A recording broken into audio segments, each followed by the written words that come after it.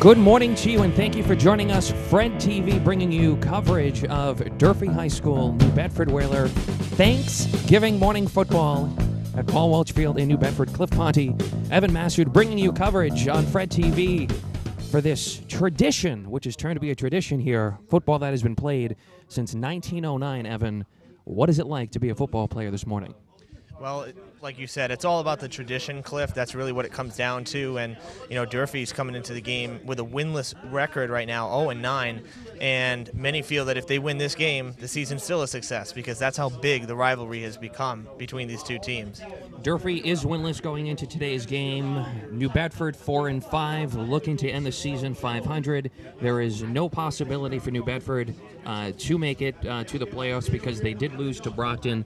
Putting the records aside this morning, putting everything aside, a lot of dedication, a lot of work ethic, a lot of time's been put into this season for all the players and coaches. Uh, how important is it for a player, especially the seniors this morning, regardless of the records? regardless of the records, you know, this is their send off. Um, you know, Thanksgiving Day is the big finale of the season, and it's something that, you know, both teams look forward to because this is such a historic, you know, rivalry. And uh, so for the seniors, it's definitely a big thing because it's their last game in this uniform, in their uniforms. So.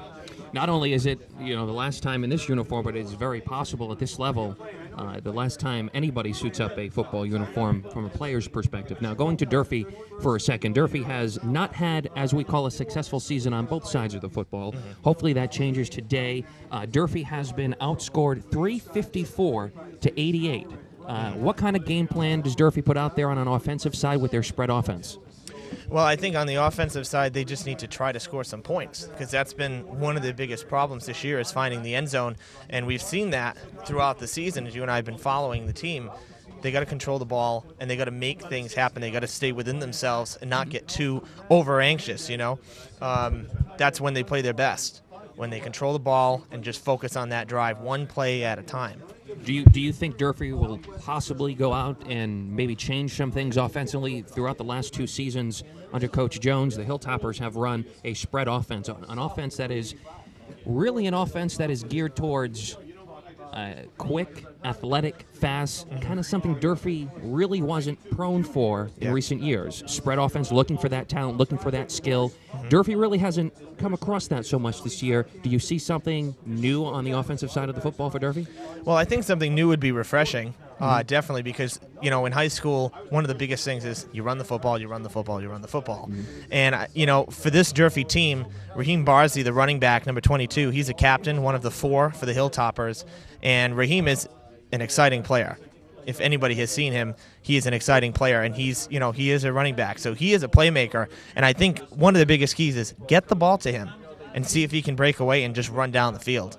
I know we try to get away from the run because it's something that they have done a lot, but I think Barzy is going to be one of the biggest playmakers in this, and I think you'll also see some some more passing than normal because you got to try to get the Whalers off guard a little bit. Now, Durfee has, uh, throughout the course of the season, the games that we've covered and the games that we've watched and scouted for, for Durfee so far this year, they've uh, they've had a tendency to throw the ball to number 18, Michael Career, for the Hilltoppers. He's had some uh, completions for Durfee, some very good ones as well. Do you see him getting the ball a lot? I do. In fact, um, their last home game, one of their last home games, Durfee. It was a crazy pass. I remember it was almost like from the 40 yard line, and somehow Correa came down with the ball in the corner. Very athletic player. So um, I think he's definitely, definitely going to be a force out there, you know, as a as a receiver. Now, going to the New Bedford side, uh, very much uh, success so far on the offensive and defensive side of the football, bringing the record to four and five. Uh, New Bedford has seen some success on the gridiron this year. Their offense has been led by quarterback Mike Raposa, who is three touchdown passes away uh, from tying a single season record that was um, put up in 1997 uh, by Johnny Seed. Uh, so we're going to probably expect to see not only a solid run game from New Bedford this morning, we're also going to see some passing. They are without their star uh, wide receiver this morning. However, on the defensive side of the football for Durfee, what kind of game plan do you put out there to stop this potent New Bedford offense? Well, it's going to be tough. Um, Durfee, on average, is allowing 34 points a game to their opponents. In fact, they've allowed 34 points to think about in half of their games. So giving up points is a big problem for Durfee this year. And adding in the good passing game for New Bedford is going to make it particularly tough. So I think that Durfee's defense really has to be thinking about the pass and not so much just trying to defend the run. I think they really need to be looking downfield, and the secondary's got to really be on their toes in this one. The secondary definitely needs to be on their toes. The, the Durfee has picked off five interceptions so far this year. They have turned the ball over quite a bit, though. Mm. Um, special teams is probably going to be a, a topic of conversation at the end of this game. It's a matter of field position. Football is always a matter of field position. Uh, so it, we'll, we'll really see uh, what Durfee comes out with. We are bringing you coverage on Fred TV, Thanksgiving football, Paul Walsh Field in New Bedford. We are going to be back with the starting lineups and more right here, Paul Walsh Field, in just a few minutes. Thank you.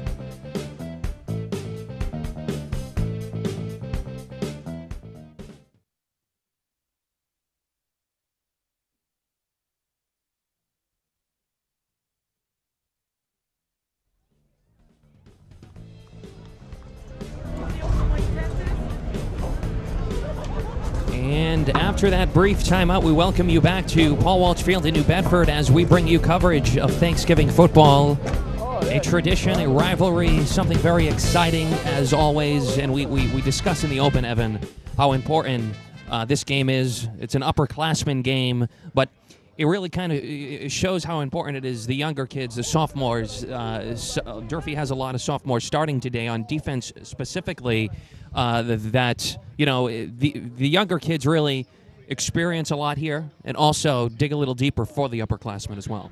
Definitely, that's true. And you know, these are the guys that are going to be basically stepping in for the few seniors that are going to be leaving and heading off to college. And and even with that said, you know, I wanted to look back at some of these uh, last couple of years. New Bedford's won the last four games. Mm-hmm. So the seniors today, especially for Durfee, seniors really looking to uh, hopefully pull out a win so that they can say that they beat New Bedford once in their high school career. And, and and not only that, you know, we can we, we were discussing again, and also in the Open, Evan. You know, Durfee didn't have a successful season last year. They won one game last year. This year, winless. Uh, but Thanksgiving last year, the score was 18-16. The Hilltoppers were trailing 18-8 going into the half. Yeah. Came back, and it was a nail biter to, to the very last second It of was. last last Thanksgiving morning. special things always se- seem to happen on Thanksgiving. It both sides step up play. You really never know what's going to happen. So, um, I think it could be a blowout. I'm going right into predictions. I think New Bedford is probably going to pull ahead just because of the success that they've had. Um, my final score, I'm picking 37-18 New Bedford.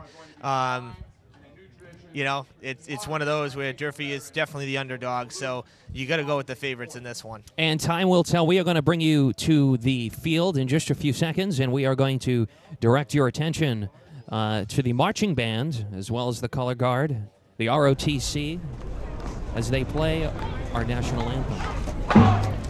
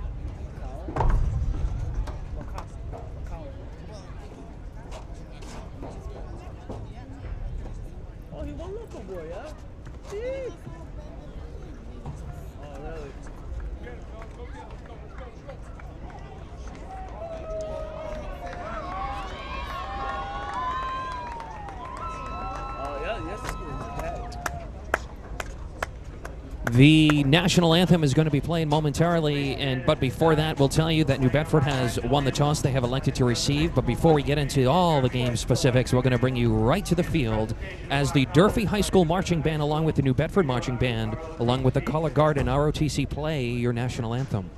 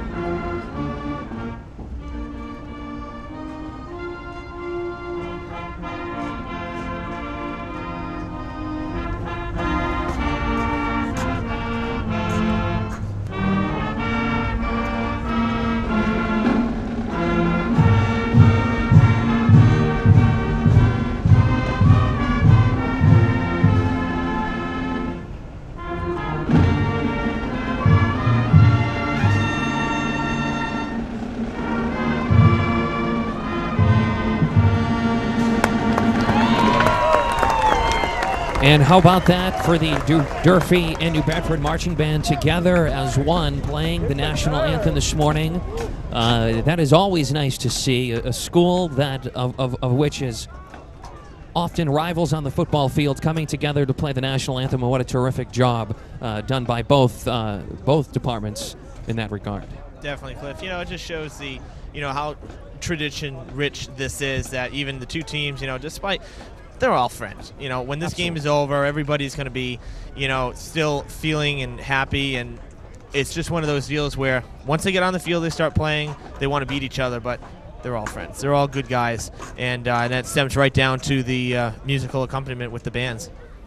And this morning, uh, we would like to also thank the New Bedford Cable TV for providing our cameras today. We're going to be seeing quite a few New Bedford shots, with all due respect to those watching in Fall River. Uh, it is no pun intended to you, uh, but uh, due to circumstances beyond our control, we're going to be seeing a lot of New Bedford. Hopefully, Durfee will be running the football a lot and scoring a lot of points, we'll be seeing more of Durfee. But regardless, would like to thank New Bedford and their crews, and also the crew who is bringing you the coverage today uh, down in the booth uh, we uh, downstairs in the truck rather. We thank you very much for that. So, as we were speaking earlier, uh, Evan, uh, Durfee has lost.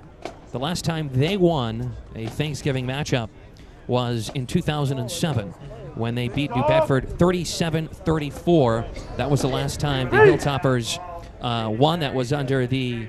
Um, that was at, at that Durfee High School also in 2008. The uh, Hilltoppers lost 37 to six.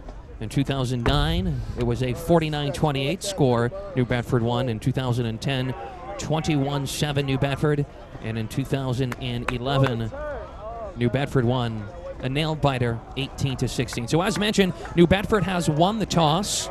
They have elected to receive. This game, white hat official is Charles Ashley. A veteran officiating crew will be officiating today's game.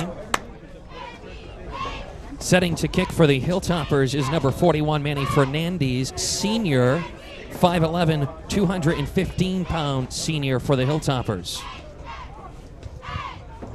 And we are underway. It, it is a short kick. New Bedford will take possession, picked up by number 45 for New Bedford. That will be Ricky Moraes for New Bedford. So it's going to be a first down and 10 for the New Bedford Whalers. Ball looks to be placed uh, just about the 46 yard line of the inside hash mark. Yeah, it's great field position for the Whalers. Durfee uh, Fernandez did not get that ball up in the air, and it was more of a low liner, almost almost like they were trying for an onside kick, and it got kicked too far to do that because they're starting at about midfield. So that's great starting uh, field position for the Whalers. First down and 10 for New Bedford. Handoff go. Fake handoff goes to number 12. Quarterback Mike Raposa takes it to the outside, brings it to the 40, past the 40, and he continues to go. There is a penalty marker on the field. Tackle is made by the Hilltoppers, but that is a huge gain. But there is a penalty marker on the field. Let's see what Charles Ashley's first call of today's game is going to look like. Yeah, Raposa faking the handoff, the quarterback, the playmaker for the Whalers, and he called his own number and took it himself down the sidelines. It would stand as about a 40 yard gain if this play stands. And it is holding against New Bedford. As a result, is going to bring them back. So that is a huge loss. It is a penalty from the spot of the foul. And that hurts because that's going to take about 20 yards off that run. Which was a nice opening run for New Bedford. Uh, New Bedford is accompanied by senior quarterback. He's 5'11, 185 pounds. He has a record to catch today. Number 15, we're going to see a lot. We're going to speak a lot about number 15, Mike Raposa, who is a starting quarterback, great athlete. New Bedford breaks the huddle with number 22, Stephen Azor to the far side left. And number eight, Preston Perry, 5'11, 160 pound senior, also a running back, set on the far side right. Yeah, little delay here. Uh, the the chain gang over there trying to get the uh, getting the line straight here. It's always it's always figured out though. Definitely. Clock moving now and get ready to hit the action again. Snap goes and handoff is given to number 12 for New Bedford. There is another penalty marker on the field. The handoff goes to number 12, Michael LaJoy for New Bedford.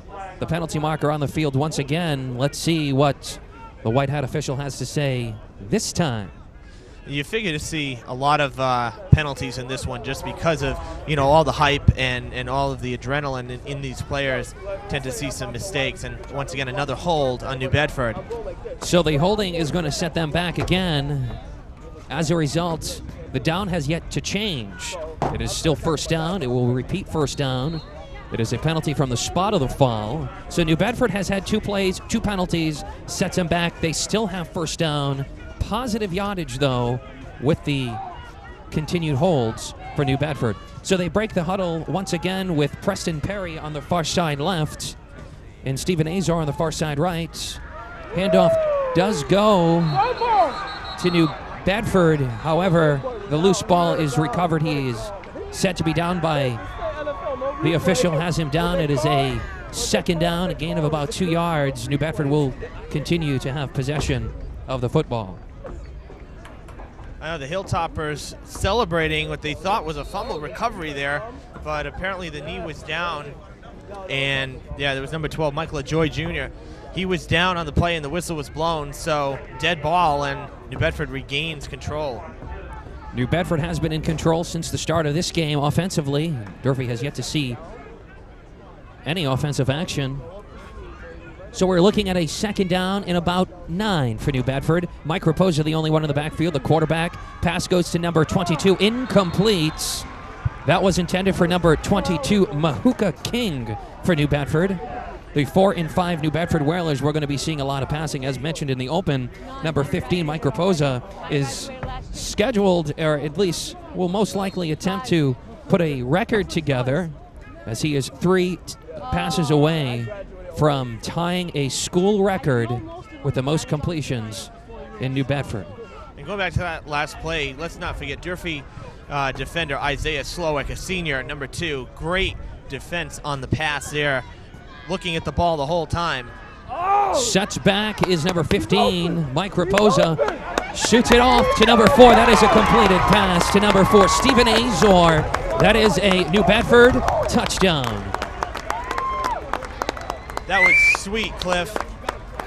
That was a very nice play done by New Bedford. Pass was complete to number four, Stephen Azor, from their quarterback. Number four, Stephen Azor is a wide receiver, 5'9, 170 pound senior. Yeah, that was just a fabulous pass right there, and you see why Raposo's having such a fabulous season.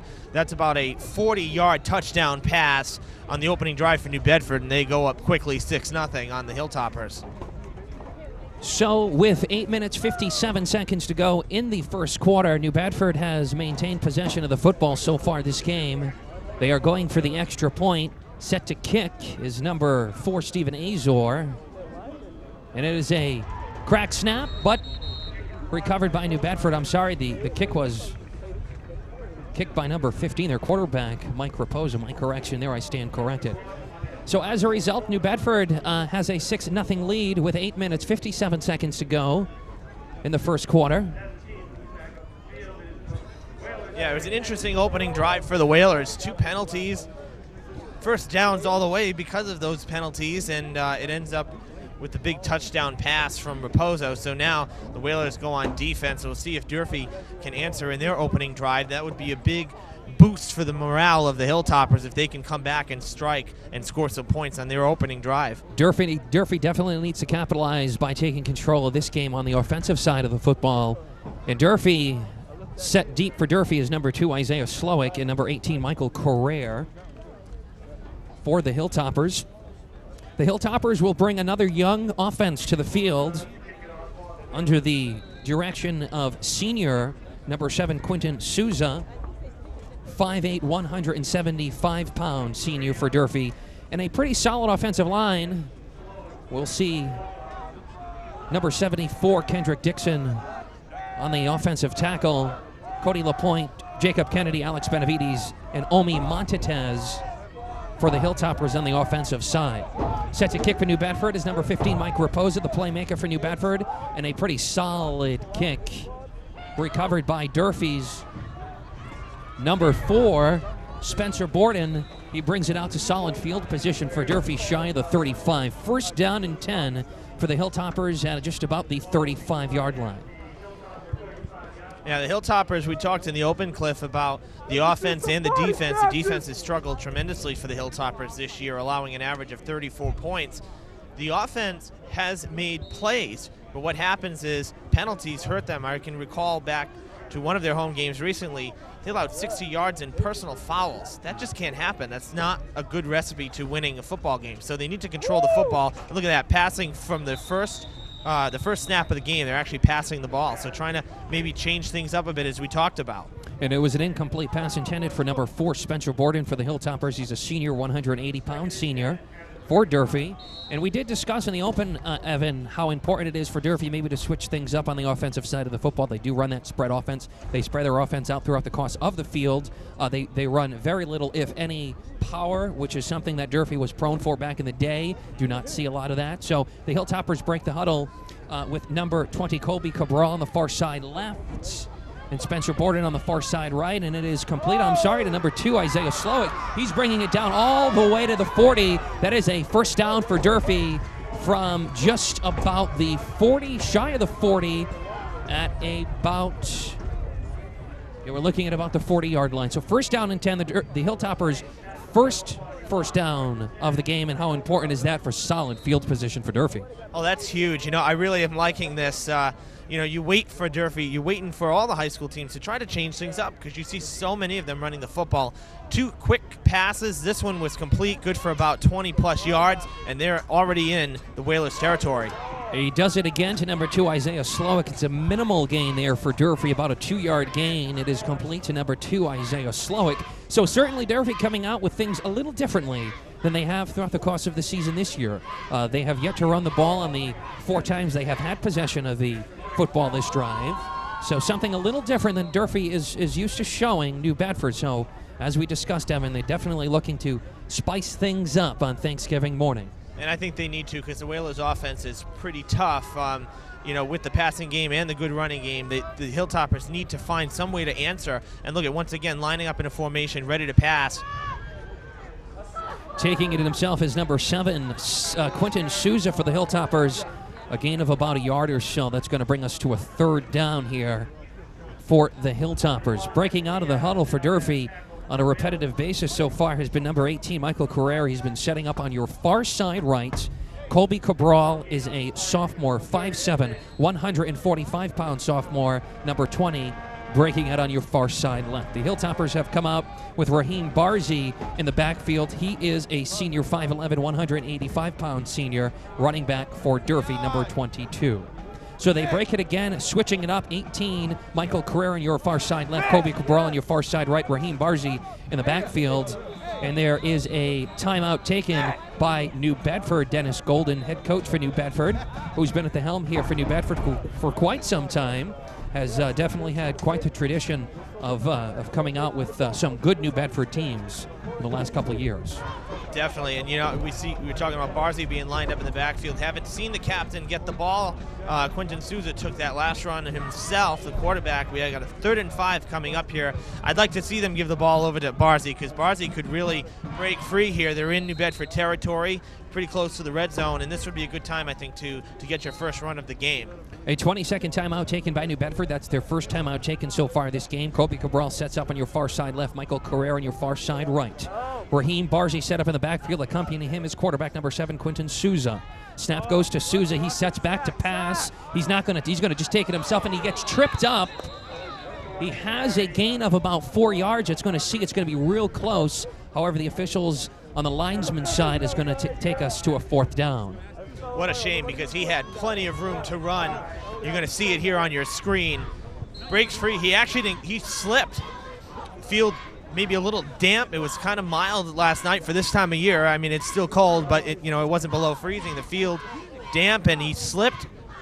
That that that's disappointing because he had plenty of room to get the first down, and as it stands, it's no gain on the play. So a fourth and five coming up. So it is a fourth and five. Hilltoppers are not punting. They haven't been a team that usually punts too often. Not at all. We can see. Yeah. So fourth down in the middle of the field. It's at the 35-yard line. New Bedford is going to take another timeout. I believe, or if there's a penalty marker on the field, we're getting an indication there is a penalty marker on the field, and it is against the Hilltoppers. It's going to be a five-yard penalty, offsides against Durfee. That is a dead ball fall, so it's going to set them back five. It will remain fourth down, moving into a fourth down and a 10-yard needed for Durfee. Fourth and 10 from the 40 now for Durfee. So that sets them back five. Evan, how important is it for solid and maintaining field position this morning? Yeah, that really hurts the Hilltoppers. Uh, the false start. Somebody moved at the line, and uh, that that's really going to make things difficult on this fourth down uh, conversion attempt. You know, five yards is sometimes reasonable, but ten yards, they're going to really need to pull something out of their uh, their hats on this one.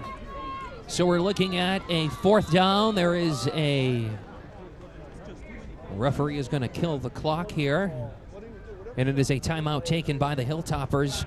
It is a the Hilltoppers' first timeout taken so far this morning. Cliff Ponte, Evan Massoud bringing you coverage of Thanksgiving football from Paul Walsh Field here in New Bedford. Both teams coming off a 35-12 losses. New Bedford lost to Brockton. New Bedford has dropped two of their last two straight of their last two games. They've lost two of the last two. Boy, I can speak this morning. it's okay, Cliff.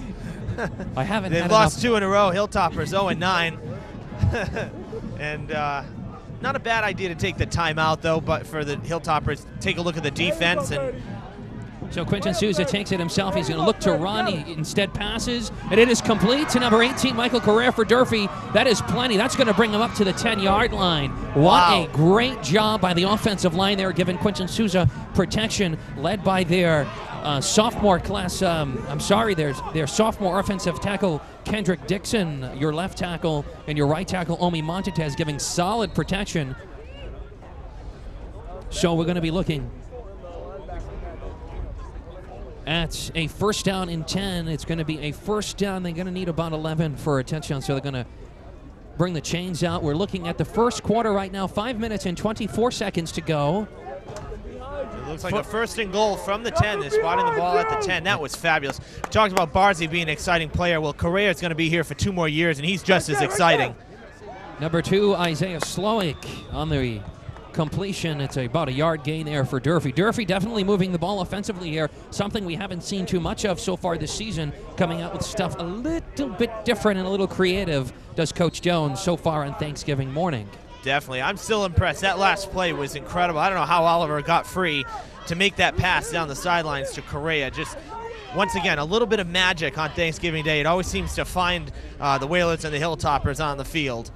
Clock running with four minutes and 40 seconds to go in the first quarter. Six nothing New Bedford, but Durfee is threatening in the, within their New Bedford eh, within New Bedford's end zone. They take number 18 Michael Correa, put him in motion. Number 22 Raheem Barzy in the backfield, and the handoff goes to number 22 Raheem Barzy. There is a penalty marker on the field. It's a loss if the penalty is against Durfee. We will see what the call. White hat official Charles Ashley will be giving us the call this morning. A veteran officiating crew, lots of years of experience from all five members of this officiating crew this morning. Penalty might, depending on what it is, might not be too bad of a situation because Durfee lost yards on that run. Barzy got tackled in the backfield for a loss of about two.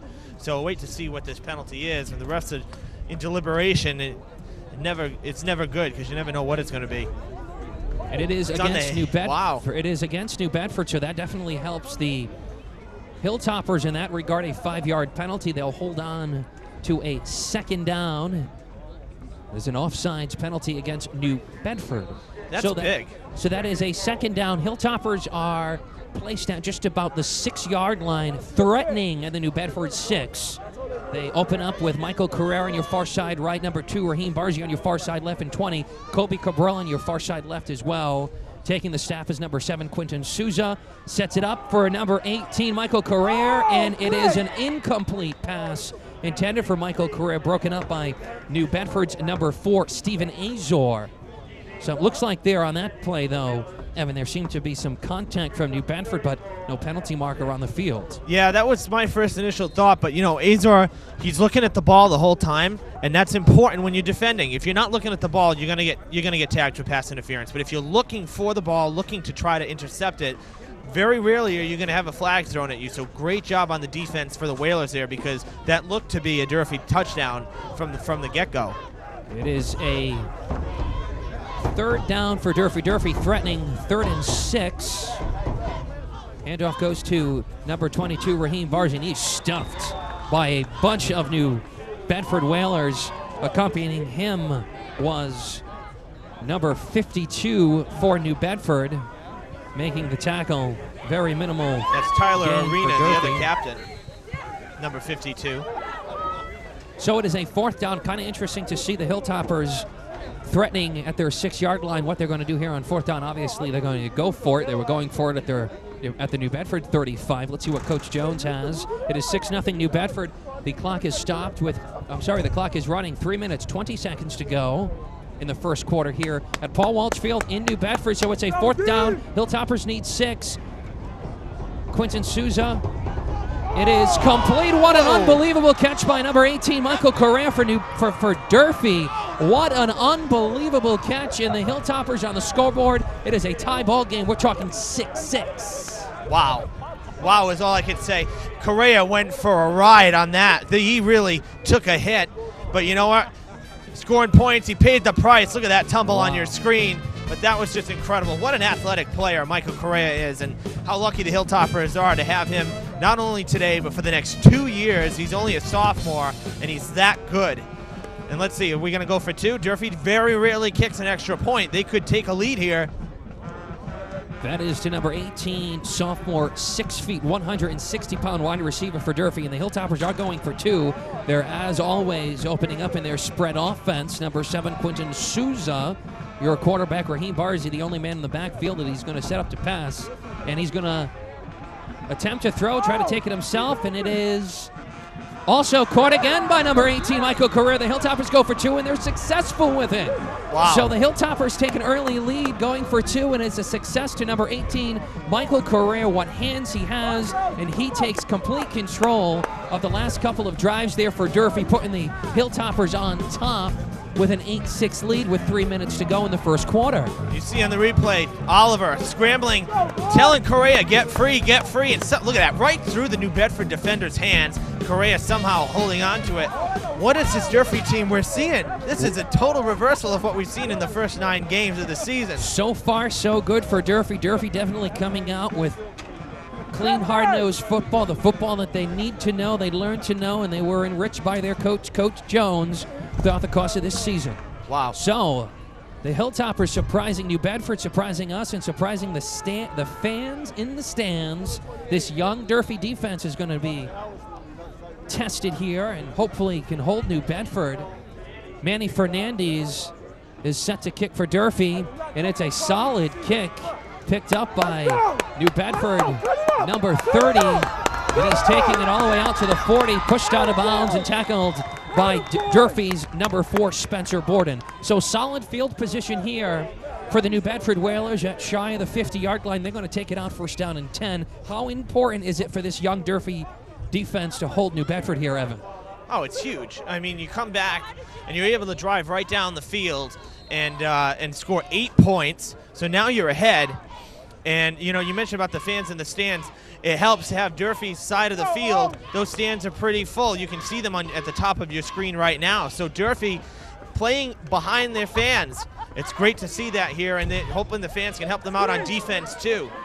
A lot of pressure given there by Durfee. It is a completed pass to number 12, Michael LaJoy for New Bedford. That's going to bring him out to solid field position there. That's going to bring him out to the 30 yard line, shy of the 30, actually closer to the 32. First down and 10 from the 32 yard line for New Bedford. Brad Kilby making the tackle, another sophomore, number 37, because if he didn't make that tackle, Mike LaJoy was gone. So Durfee takes the timeout here, their first full team timeout for the Hilltoppers. We also like to remind you next weekend already Operation Christmas Telethon. I couldn't. Uh, we, we, we were talking about it this morning. As know. we do have the timeout Operation Christmas. We we ask you to to join us.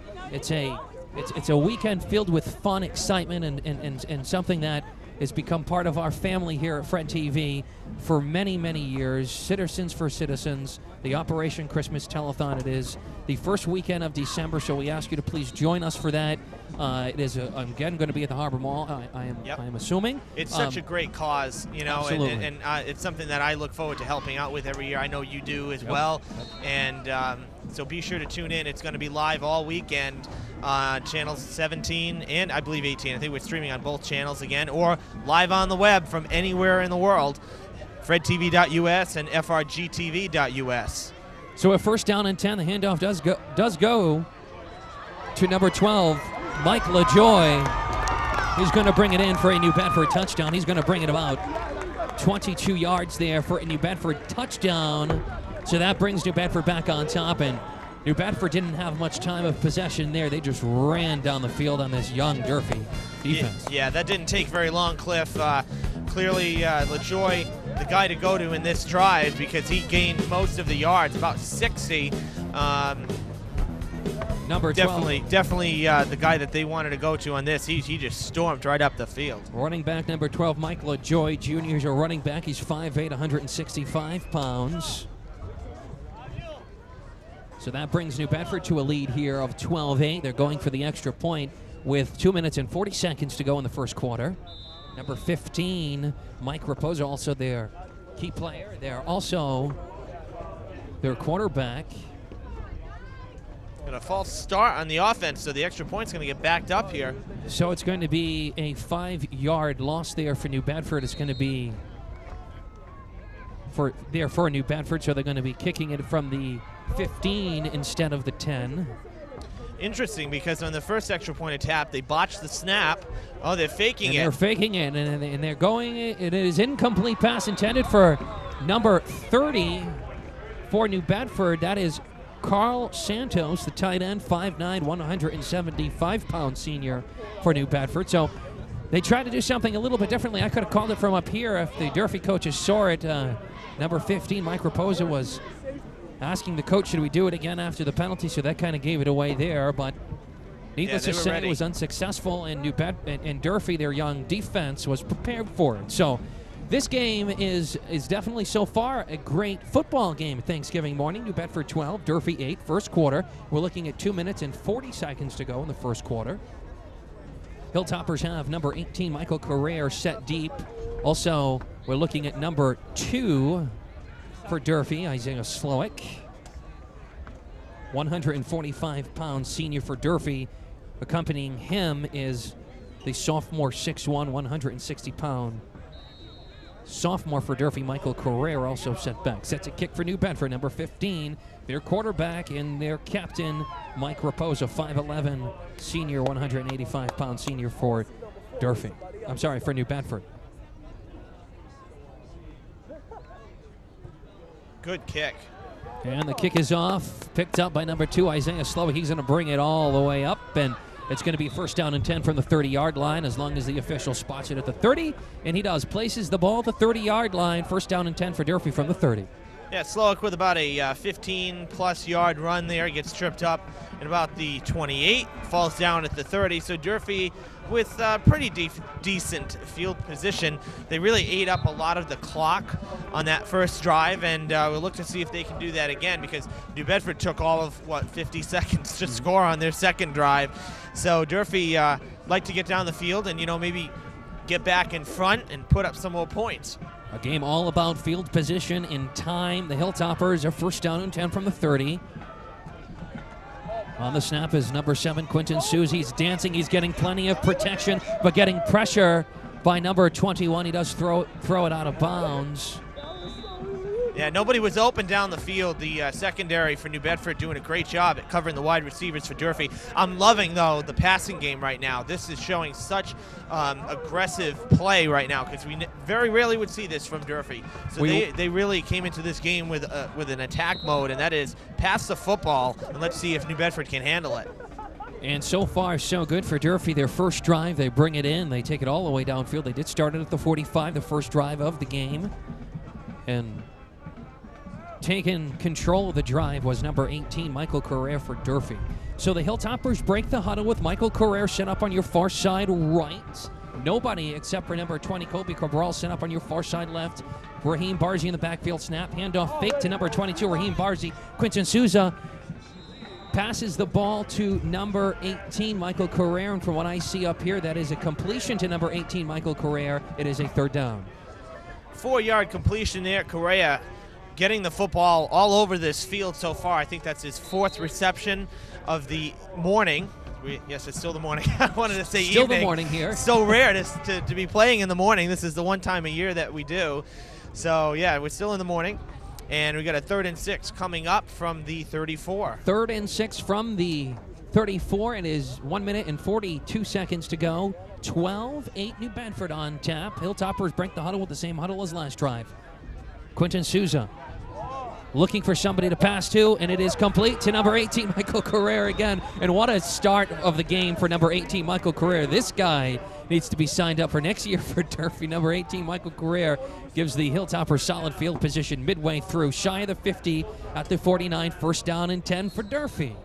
Yeah, Oliver is showing great poise uh, with, as a quarterback in the pocket. If he has to get out to the sides, he, he's really he's really staying within himself. You see the replay there. Correa once again in stride, great hands, and a great pass from from uh, Quinton Souza.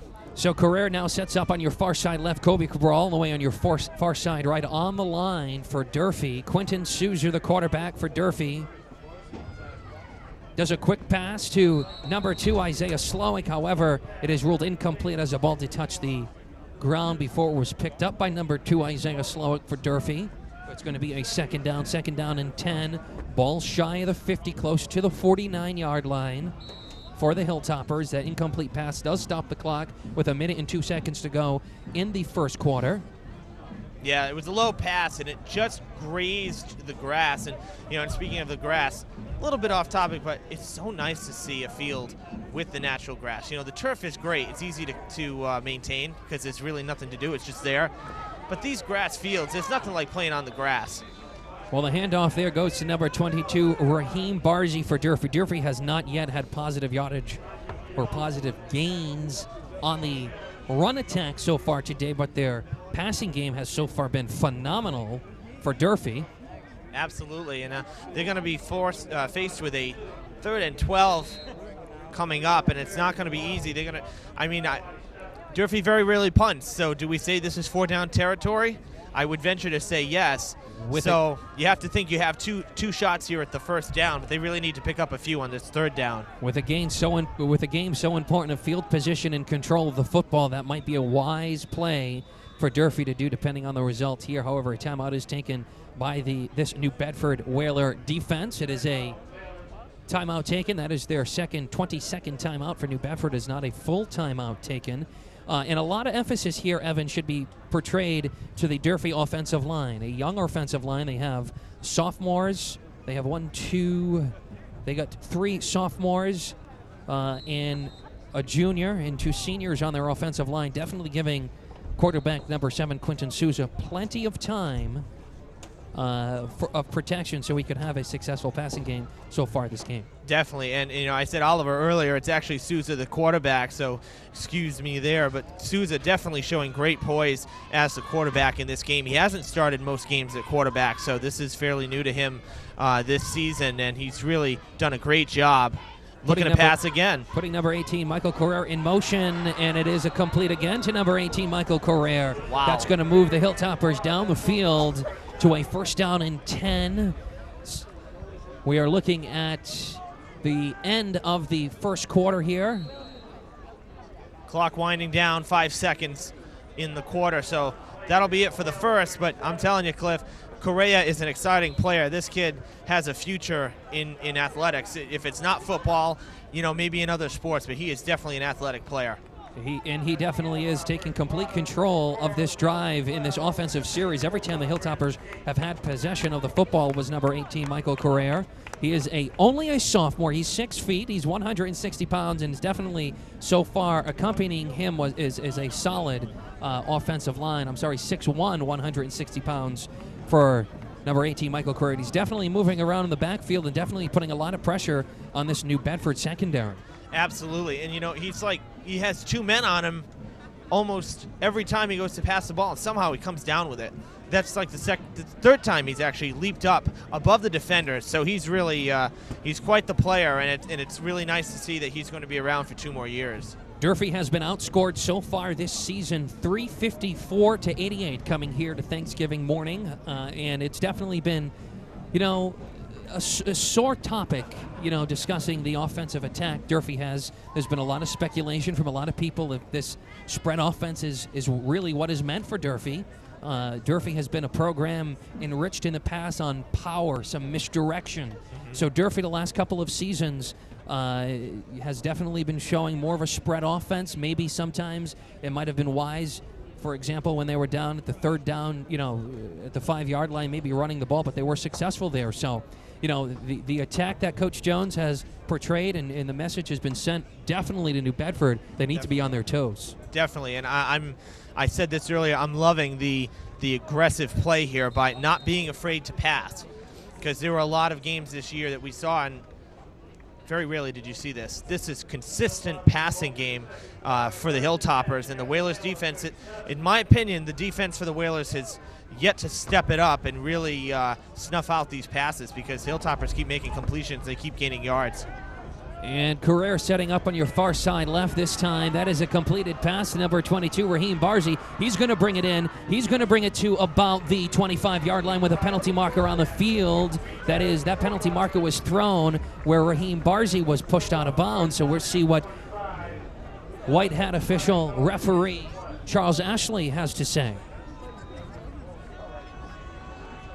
Definitely good for a first down. If this goes on New Bedford, uh, could be looking at more It is- yards. It for is a face mask against the New Bedford Whalers, so that is definitely going to help Definitely. the Hilltoppers there. Durfee definitely potent on offense, something that we haven't seen at all this year.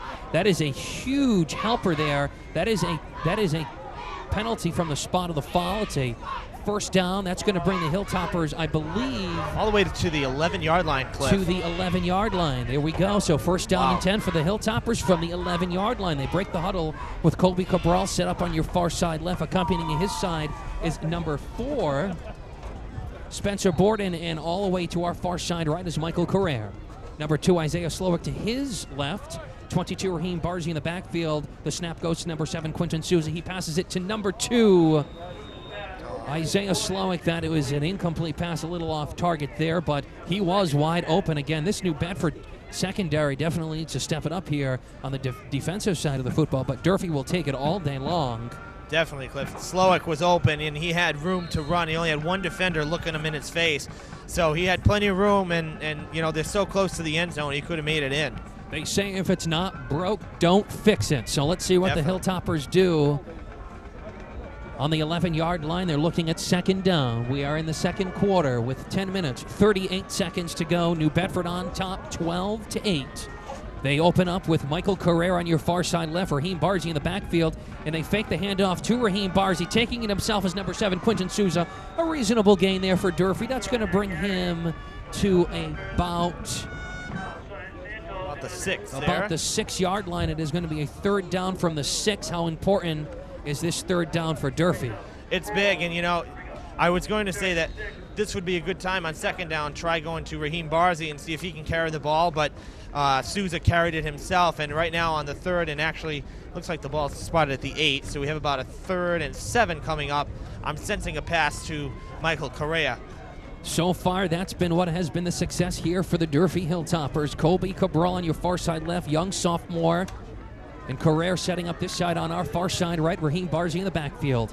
Quinton Souza moving out to his left pocket, and it is intercepted by New Bedford. Number 40 for New Bedford intercepts it. And does that hurt for Durfee? Cody Fumo, 6'1, 175 pound senior for New Bedford, intercepts the ball, and what a game changer that is for Durfee. Yeah, that that's some of the things that have happened this year for Durfee, where they're so close to the end zone and they can't make it happen, um, be it because of a foul or a flag rather, or be it because of you know a turnover, and that that really hurts. Just being a few yards shy of a score. Now Durfee's going to go back on defense, coming out of that with no points. So this young Durfee defense is once again going to be tested. We're going to be seeing at the line, we're going to be seeing senior defensive lineman captain Manny Fernandez. He's going to be playing the nose. Jaden Texera, number 75, your senior 5'10, 250 pound big kid, is going to be also on the tackle with Cody LaPointe also as your tackle. So the Hilltoppers are running a 4 3 defense. The handoff does go to number 12. That will be Mike LaJoy, who's been definitely taking a lot of the yardage there for New Bedford so far this game.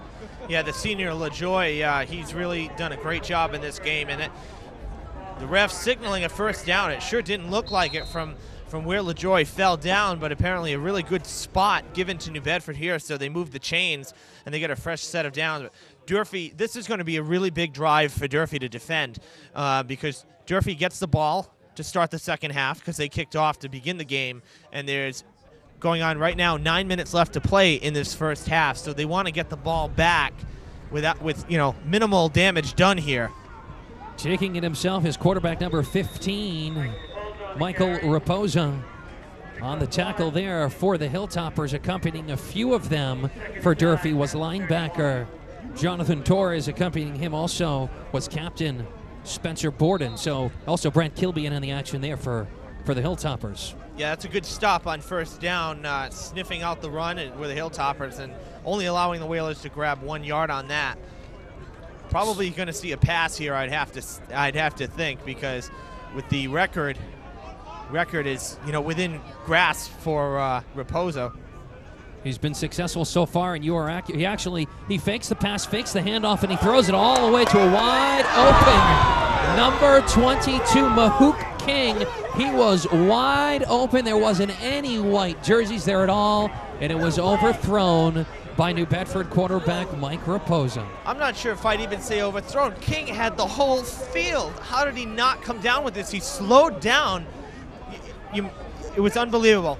He slowed down in his tracks, and if he had been running in a full sprint the whole time, he would have made the over-the-shoulder catch. I mean, he was gone. He was into tomorrow. And, and the misdirection there for New Bedford certainly, certainly, certainly was well played by Mike Raposa. Definitely had this young Durfee defense caught off guard. So, as a result, we're looking at a third down. I wouldn't be surprised if they pass it again. They open up with a nice spread here is New Bedford with one in the backfield, which is your running back, Mike LaJoy.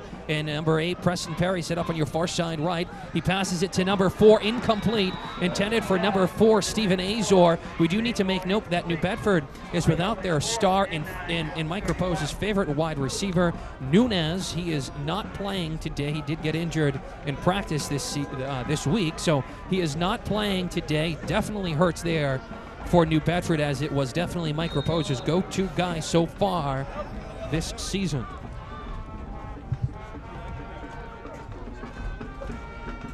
And he certainly may have had sun in his eyes on that missed opportunity there for New Bedford. Looks like they're going to punt. So Mike Raposa set to punt for New Bedford. Durfee has number two, Isaiah Slowick, and number 18, Michael Carrere set back, and he fakes the punt, and he is stuffed, and he is met by number 41, Manny Fernandez for the Hilltoppers, the captain accompanying him, number 75. Jaden Texera, and that results in excellent, excellent, excellent field position here for the Durfee Hilltoppers in New Bedford's own 20 yard line. First down and 10 for the 20. Another opportunity here, Evan. Durfee needs to capitalize on. Yeah, we take a look at the replay here, and the fake just not happening for the Whalers. The Durfee sidelines is pumped up right now. The coach is pumped up, but then immediately after celebrating, reminding their players stay within themselves because we still have a football game to play.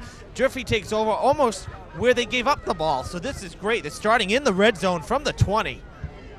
From the 20 is number seven, Quinton Souza. He's going to take it in, and he's what a great block by number 18, Michael Carrera. He gets it to the inside. It is a touchdown for the Hilltoppers. Number seven, Quinton Souza brings it in for a Hilltopper touchdown. However, there is plenty of penalty markers on the field. I'm counting one, two, three, four penalty markers on the field. This might be brought back.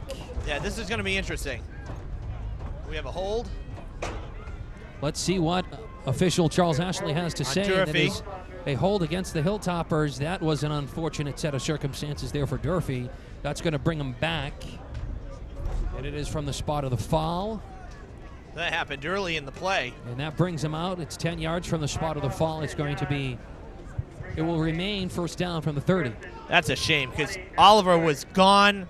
I mean that this whole sequence over the last couple minutes between the defense and the offense, Durfee's defense. Let's not forget how big they just stepped up to get this football back, uh, allowing one first down and then stopping the, the Whalers deep in their territory.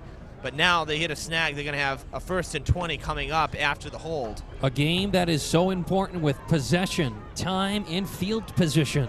Hilltoppers break the huddle with one man in the backfield. Accompanying him is Raheem Barzi, along with the quarterback Quinton Souza. Michael Carrera set up on your far side right, and it is a completed pass to number four, Spencer Borden. He's going to bring it in for a Hilltopper touchdown. Captain to captain connection there. Unbelievable set. Another unbelievable drive there for the Hilltoppers. Number four, Spencer Borden switching it up here. And it is a touchdown for the Hilltoppers, taking a 14 to 12 lead. Seven minutes and 34 seconds to go in the second quarter.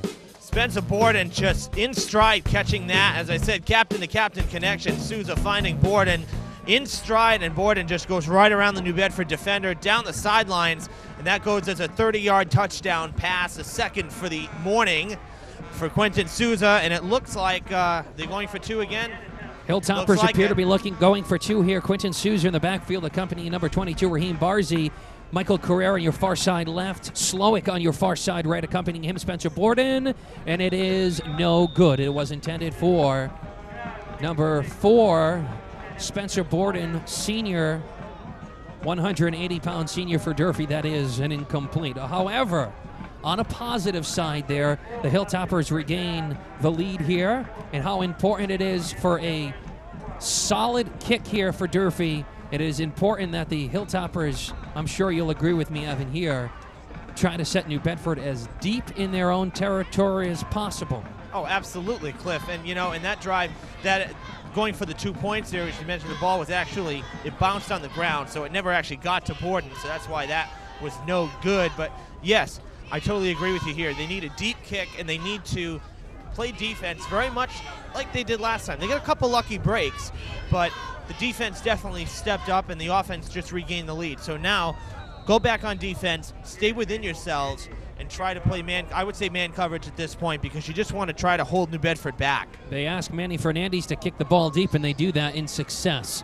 Number 30 for New Bedford picks it Ooh, up, what a and he's pushed out of bounds. Oh, Jonathan Torres nice- for Durfee stepping up. Nice clean hit there for the Hilltoppers. That's definitely going to regain positive energy going on the Durfee sidelines as this young Durfee defense comes out with eight sophomores starting.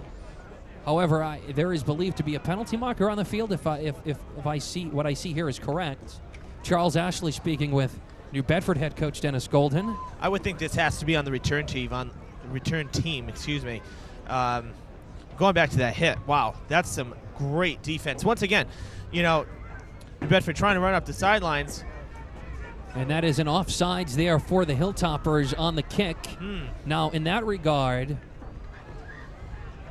it is a five yard penalty. So they'll march five off.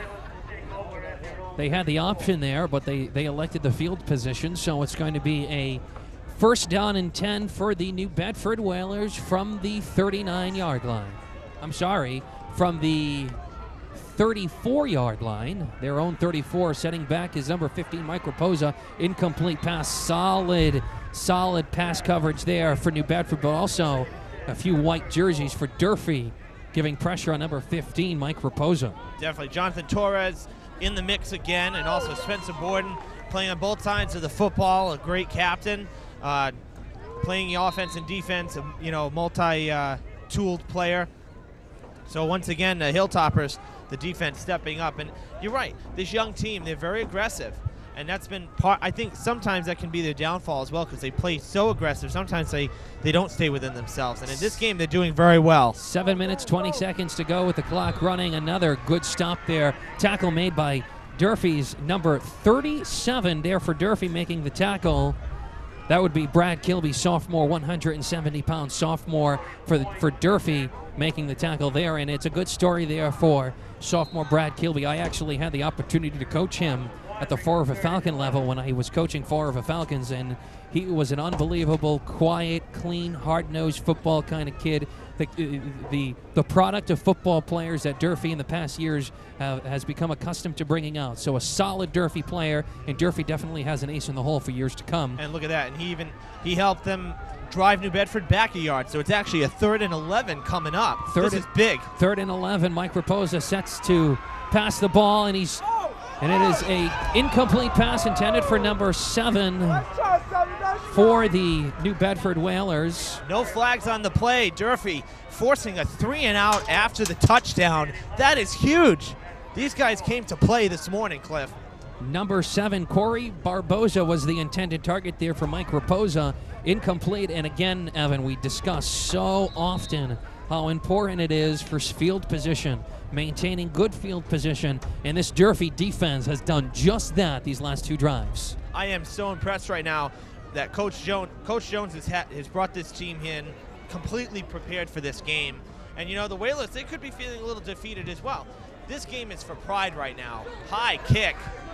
A fair catch called by number two, Isaiah Slowick. He does pounce on the ball, too, to avoid any further movement there. So it's going to be a first down and 10 for the Hilltoppers. We're looking at six minutes and 10 seconds to go. It is the Hilltoppers ahead of this ball game so far, 14 to 12. Good field position coming up for this drive now. They look to try to run down the clock. The Hilltoppers will get uh, the ball back at the half because they kicked off to open the game. But, you know, going back to uh, New Bedford as well, this game being for pride uh, because New Bedford also got beat by Brockton. Brockton won the big three. So this game is for bragging rights right now. And Durfee is definitely playing on all cylinders. Snap goes to number seven, Quentin Souza. He's pouncing around, dancing around, and he has nowhere to go, and he's tackled by New Bedford. First sack for either side. Hector Hector Diaz in the mix there for the Whalers. Going to be credited with the sack on that. So a loss of about five for the Hilltoppers. So the loss of five brings it to a second down and long, second and about 15. That's going to place the ball at just about the 38, shy the 38 yard line there for the Durfee Hilltoppers. A drive that started at the 44 yard line for Durfee. Second down. They break the huddle a little tighter than they usually do. So Durfee definitely doing something a little bit different here. They put number two, Isaiah Slowick, in motion.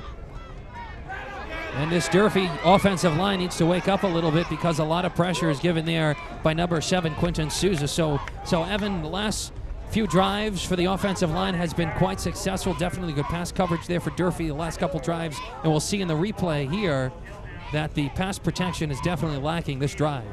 Yeah, definitely. Offensive line not stepping up because penetration these last two snaps somehow somehow Souza's able to sneak away and actually gain some yards.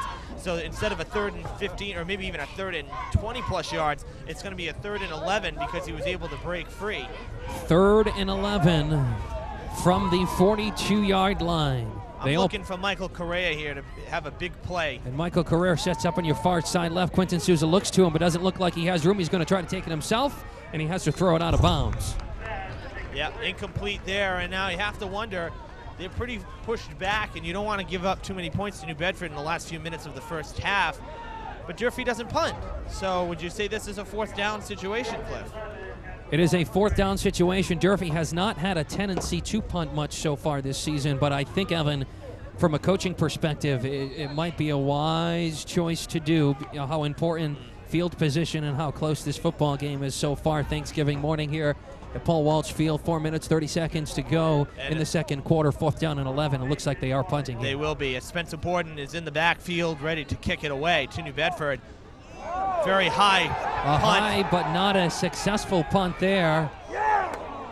and it didn't have a favorable bounce as it bounced sideways towards New Bedford's sidelines, uh, being down at the 47, 48 yard line. So very good field position for the Whalers as they'll look to try to run out the clock here in the final minutes of the second half. And we're uh, first half, excuse and, me. And we're talking final minutes, four minutes and about 15 seconds to go in the first half of football here. 14 to 12, the Hilltoppers on top, and they've maintained the lead so far this whole quarter. I believe. Am I accurate with that? Yes. So far, yeah, I believe they opened the, they opened the quarter with the scoring play. and this Durfee, young Durfee defense needs to step up again, and they have done nothing but that so far this game. So New Bedford breaks their huddle, as always, led by their quarterback Mike Raposa. He's going to take it himself. He options it to number 12. That's a live football, and it is caught and is recovered. I'm sorry, not caught by number 12 Mike LaJoy. They try the option there, but was un, were not successful.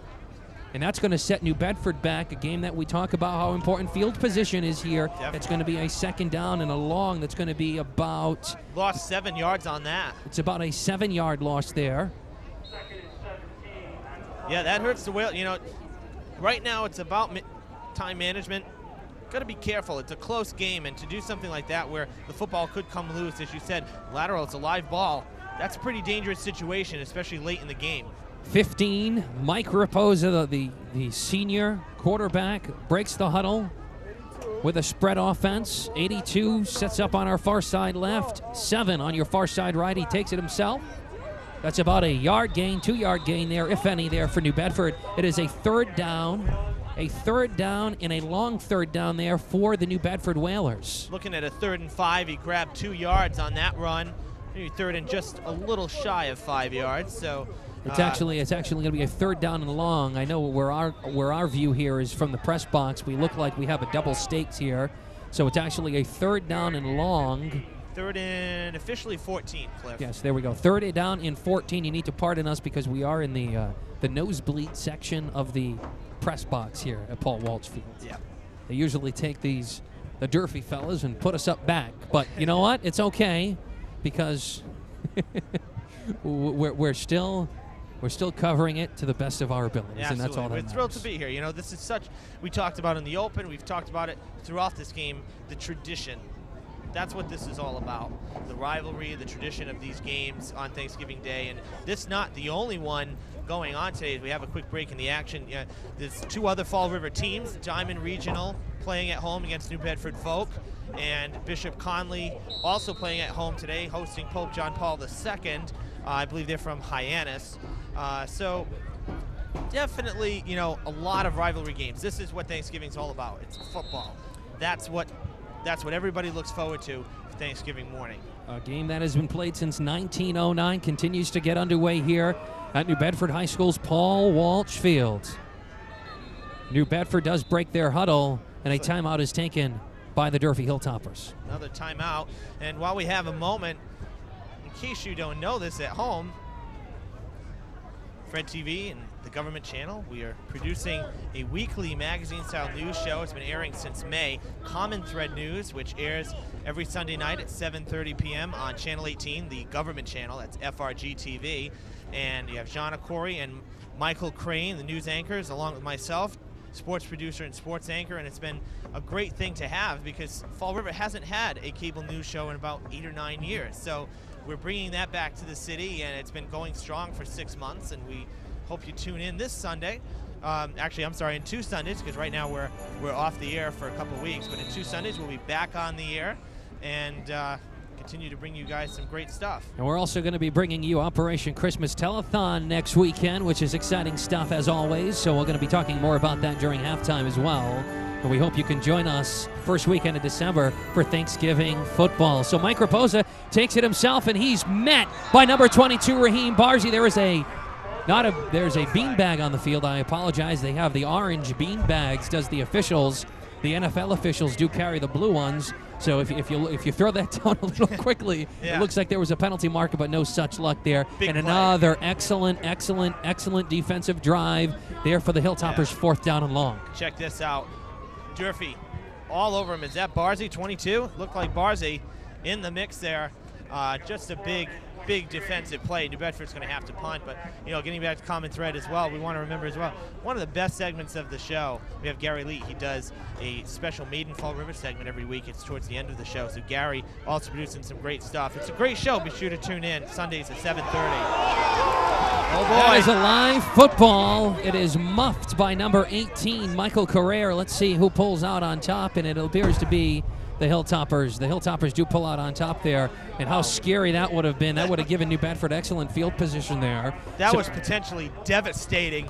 Uh, the football juggled and lost, but then recovered by the Hilltoppers. This this could be a big drive because if the Hilltoppers can run out the clock here and not give it back to New Bedford, they're getting it back at the half as well. And you can see that was- two straight offensive drives. And you can see that was muffed by number 18, Michael Correa, for the Hilltoppers, but very well keeping an eye on a swivel and an eye on the football was Durfee there recovering it. So first down and 10 for the Hilltoppers from the 35 yard line.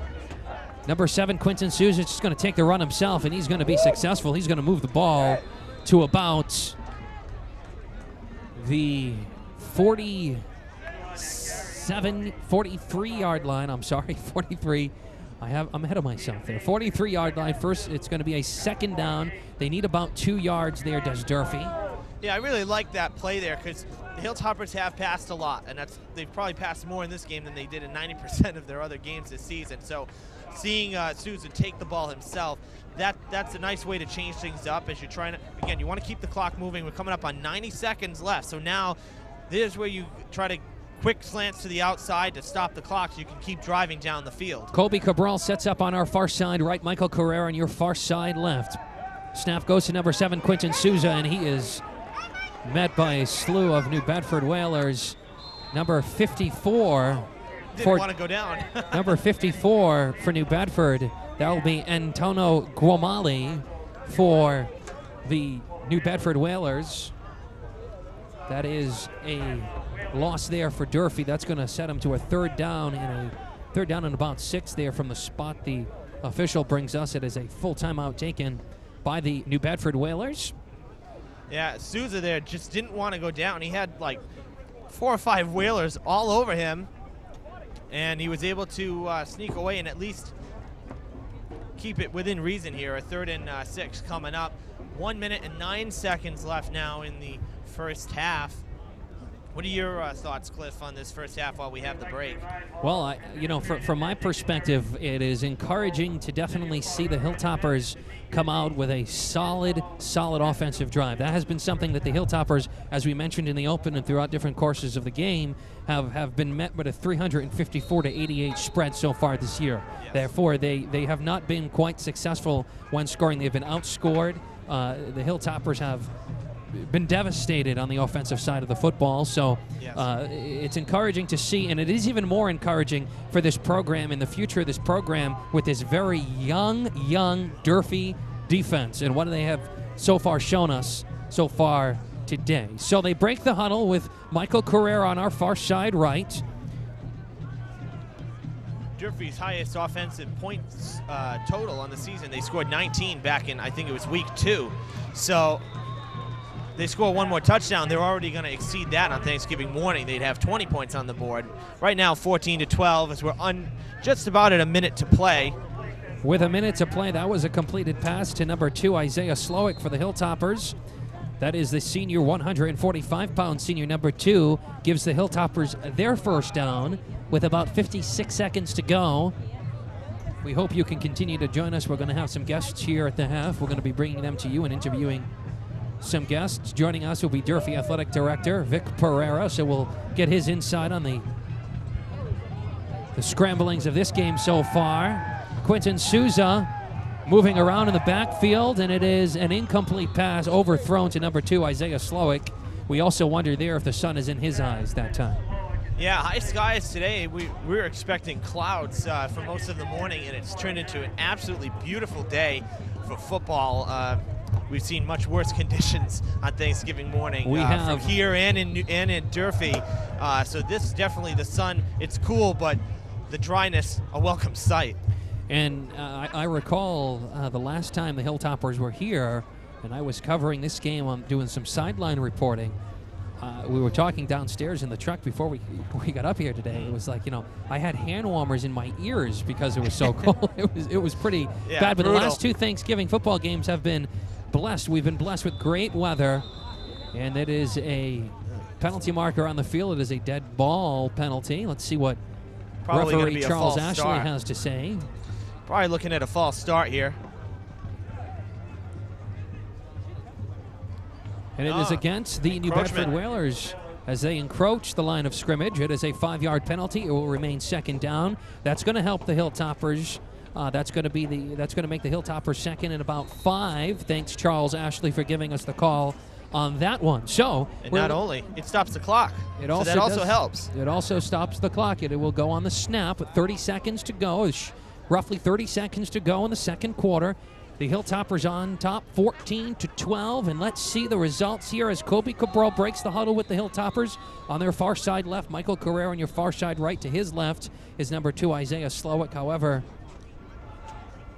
they would like the we have a referee timeout here, and he's telling the clock operator to put 32 seconds on the clock. 3 2 as the clock does show 30 seconds. Dennis Golden just looked, New Bedford coach, looking for a little bit of an explanation as to why the clock has been stopped. So, Well, it actually started moving when the ball was placed on the field, coming out of the uh, the flag, uh, coming out of the penalty, and that was uh, they were not calling for that to start at the moment, so it actually ran two seconds. So that's why they're trying to correct that, um, so we can get an accurate time on the clock. and they do that as the Hilltoppers have a second down and about four yards to go. Raheem Barzi meets his quarterback in the backfield, the only two fellas in the backfield this time. Number two, what a leaping grab what there a by catch. Barzi. I'm sorry, I stand corrected. Number 22, Raheem Barzi on the completion there for Durfee. It is going to be a gain of about Actually, it's like no gain, but minimal gain there for Durfee. Yeah. Gain of about a yard. Let's give him a yard. So it's going to be third down and four. And it appears the Hilltoppers are just going to let the clock run out and go into the half with a 14 to 12 lead. five seconds. They may get the snap off. They're hurrying. Two and one. They And get the snap. One they- last play. And they get the snap off. They go long to number 18, Michael Carrere. And it is complete, but it is not enough time to continue this. He does catch it in bounds. And as a result of that, we go into halftime, which has been the first time this season the Hilltoppers go into the half with the lead. So we go into the half with the lead here at Paul Walsh Field. It is 14 to 12. Hilltoppers. How- Unbelievable. now we, we were speaking, and, and and and somebody to my side, I think, predicted a score here. I think you might have to stand corrected there, Evan. Well, that's why we call it a prediction. We go based on the facts and you know based on what we've seen this season. And Durfee coming into the game 0 and 9, we certainly didn't expect this. I don't think anybody did, especially from the New Bedford side. Definitely from the New Bedford side. De- uh, New Bedford probably looking at things a little bit differently here. Definitely. Uh, a- as they would, um, you know, coming into this game. I'm sure a lot of people were saying, oh, this is going to be a cakewalk for New Bedford. A lot of people here in the press box discussing that prior to this game. Uh, and it certainly has not been that. Durfee has come out playing clean, hard nosed, aggressive football, aggressive football up front, aggressive football on the offense and defensive line. And their secondary has done very well keeping uh, quarterback Mike Raposa, you know, not ma- making his goal, I guess, so far. Yeah, today. that's for sure. They've really kept him under control. A lot of plays in the backfields for negative yardage. Uh, the, the Whalers have a lot to think about going into the half and a lot to uh, try to sort out in the locker rooms uh, as we do go into halftime. Hilltoppers, they need to just keep doing what they're doing. They- They're doing very well, and they didn't allow any points in this second quarter. That was huge. and and not only staying on top of things, but it's also going to. Uh, they have to remain consistent here. Yes. Uh, you know, don't try to do too much. You know, the the New England Patriots head coach, you can often tell through his press conferences, also says, you know, if everybody does their job and does their job to the best of their ability, and Durfee, a program who's been enriched with playing clean, hard-nosed football for many, many years, has been something that we're going to hopefully will remain and stay consistent here at, at Durfee High School. So sure. we have halftime here at New Bedford High School, Paul Walsh Field. Cliff Ponte and Evan Massoud bringing you the coverage. We're going to step away for a brief timeout. We're going to we're going to ask you to continue to join us as we continue to give you great coverage here. Thanksgiving morning, we're going to have some guests, including Durfee High School Athletic Director Vic Pereira will join us shortly as well. So stay tuned. We'll be back shortly. Going into the half, the Hilltoppers have a 14-12 lead from Paul Walsh Field in New Bedford High School.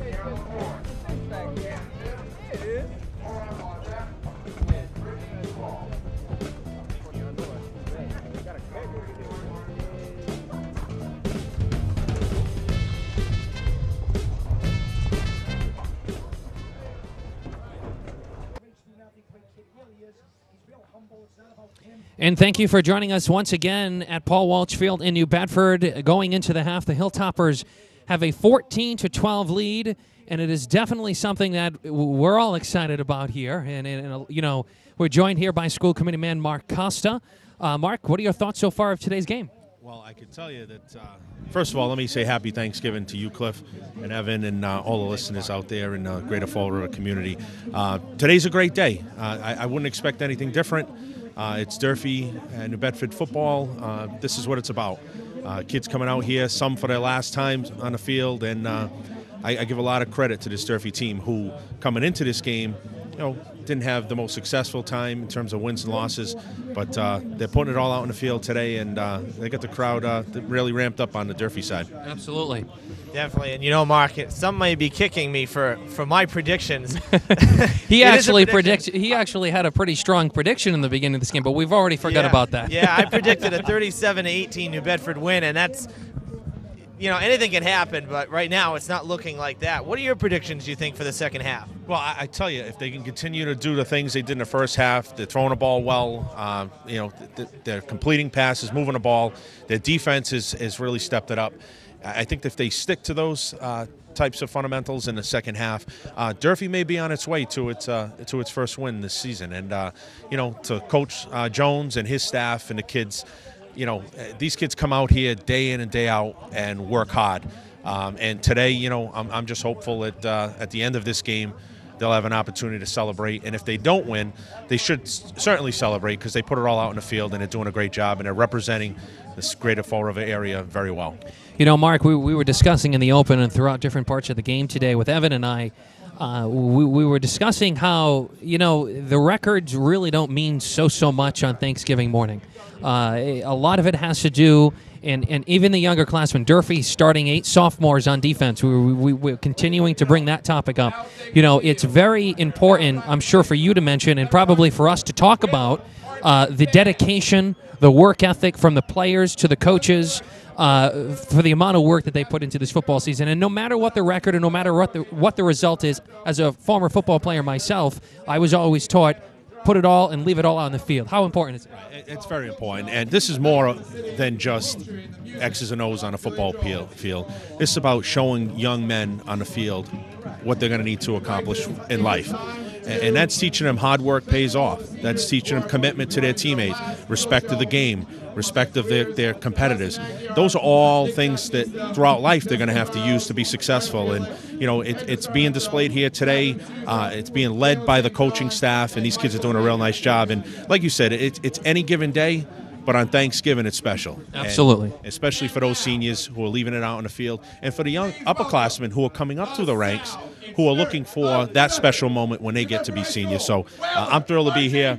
They're doing well. I hope they keep up the good work. Absolutely. Well, thank you, Mark, for joining us. We, I'm sure we'll see you first weekend of December next weekend for Operation Christmas Telethon. Uh, thank you for coming up and joining us, and happy Thanksgiving to you and your family. Thank you.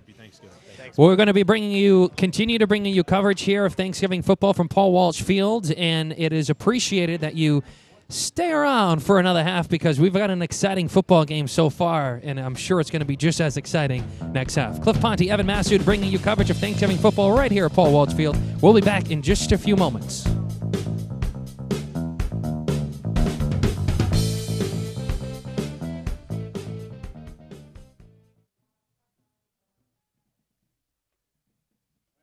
And welcome back to Paul Walsh Field in New Bedford. New Bedford High School, we're bringing you coverage of Thanksgiving morning football, already afternoon here, but uh, morning football was a long first half we were talking about. So, you know, there, there wasn't many penalties. The Hilltoppers and the New Bedford Whalers both equal possession uh, going into the uh, third quarter here, but uh, big, big start here for Durfee.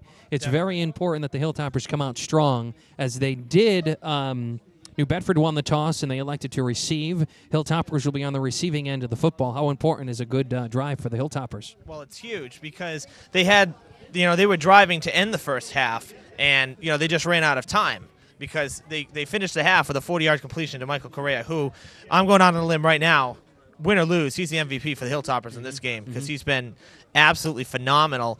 The sophomore, only two years at Durfee, two more years to play, hopefully, and uh, Durfee needs to come out and score. It's that simple. They played with all the momentum in that second quarter. They didn't allow New Bedford to score. They need to come out with that same intensity, with also with staying within themselves. That's also important. But they need to play with intensity. Also, kudos goes to this Dur- uh, Durfee defense, this young Durfee defense who has done very, very well so far. That's for sure. uh, this ball game. So we're going to bring you back to the field of play here momentarily, and we are underway in just a few seconds here as number 15, Michael Raposa for New Bedford, sets to kick. And we're ready to play the second And half. We are ready to play.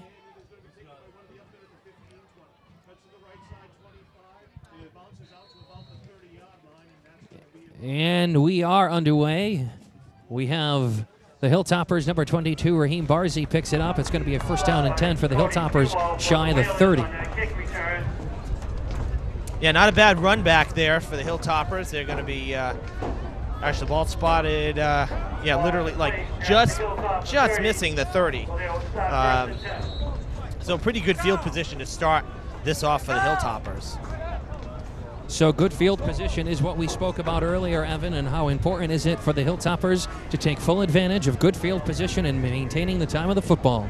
So they break out with Kobe Cabral on your far side left and Michael Carrera on your far side right, taking it himself is quarterback number seven, Quentin Souza. And that is about a eight-yard gain or thereabouts. He's slow to stand back up, but he gets right back up and brushes the dirt off and gets back to lead the huddle for the Durfee Hilltoppers. That's a gain of about seven there for the Hilltoppers. Yeah, you're going to see on your screen right here that um, I thought we were going to replay. Looks like we're, we're not. Um, but Souza took a face plant there, and that's why he was a little slow to get up. Maybe jarred him a little bit. Um, again, we want to thank New Bedford Cable for providing us with the pictures today. They're doing a great job. Uh, they're giving us the feed this uh, this morning, now going into afternoon. So we thank them for their cooperation. The snap does go to number two, Isaiah Slowick for the Hilltoppers. That is a gain of about about a yard or two, a short yard there for the Hilltoppers. It is a third down. Hilltoppers need three. Interesting to see their philosophy right now, Evan, as they have been quite successful uh, passing the football not quite successful with their run game. Yeah, that's for sure. I thought Barzy would be a really big playmaker in this, and he hasn't seen much action. The senior running back, the captain, one of the four for the Hilltoppers. They got a third and two coming up, and uh, I'd really like to see them get this first down with a pass to maybe Michael Correa, who's been so invaluable so far. Third down and two. We are in the third quarter, nine minutes, 24 seconds to go. They pass the ball to number four, Spencer Borden. He gets outside, but he's stuffed by a few New Bedford Whalers. Leading that pack was number seven for New Bedford. That is Corey Barboza. Also, number 14, Chandler DeBrosi for New Bedford. Yeah, that really just did not work out for New Be- uh, for Durfee rather. New Bedford worked out very well. They actually pushed the Hilltoppers back four yards. So now a fourth and six, way back in New Bedford territory. You have to think that the Hilltoppers will have to punt. This would be their second punt, not something that the Hilltoppers usually do, but in this case, again. It's a close game. Um, this is, you know, this was a big stop for the hill uh, for the Whalers, excuse me, because they needed to get the ball back. They're trailing in this one. So Durfee coming out a little lack- lackadaisical. A fair catch is called by New Bedford's number 12, Mike LaJoy, their junior, their senior running back, 165 pound running back. There is a penalty marker on the field. We're going to look to Charles Ashley for the call. Most definitely. I was waiting for that because Spencer Borden went down in the backfield, the kicker. We will that see. should give the Hilltoppers, if it's a personal foul, that should give the Hilltoppers a first down. That would make this punt null and void. And that you are absolutely correct. It would be first down. That is a penalty from the spot of the foul. That was a great punt by Borden, but he got he went down in the back, and the, the flag is still there. And Charles Ashley, the referee, speaking with Coach Jones as to what direction he wants to go here. This should be a first down for Durfee. They should main, maintain possession of this football. New Bedford head coach Dennis Golden calming his men down, saying, Don't get too worked up, just do your job, do your job. And we look to Charles Ashley for the call, and I have yet to see one. Oh, it's going to be a fourth and one. And it is roughing the kicker against the New Bedford Whalers. As a result, that does not give them the first down. No. That gives them first down in about a yard to go. They're gonna And go they, for And it. they break out in a shotgun formation with Kobe Cabral on your far side left and Carrera on your far side right. Number seven, Quentin Souza takes it, but he is He's got it. Met by New Bedford, but it all depends on where the ball is placed here. And as a result, it is a first down for the Hilltoppers. He grabbed two on that. New Bedford all over Souza, and somehow he's able to run around them and power it forward. That was huge for the Hilltoppers, taking advantage of the penalties. Penalties can make or break this game. You're going to see the replay on your screen. Look at the Whalers, all over him, almost tackled him, somehow stays on his feet. The knee goes down just after the first down marker, and the Hilltoppers maintain possession of their drive. And the forward possession gives the Hilltoppers a first down from the what's looking to be the 40 yard line. Out of the shotgun formation is Quentin Souza scrambling around. He has no option but to throw the ball away. In his vicinity was number 20, Kobe Cabral. good choice there to throw it away in the vicinity of a player so you don't get calls for intentional grounding. We saw that a few a few weeks back, a questionable call. So that was a good choice though because if he gotten sacked, he would have lost about 15 yards. And as a result of that, we're looking at a second down here for the Durfee Hilltoppers. Ball is shy of the 40 yard line.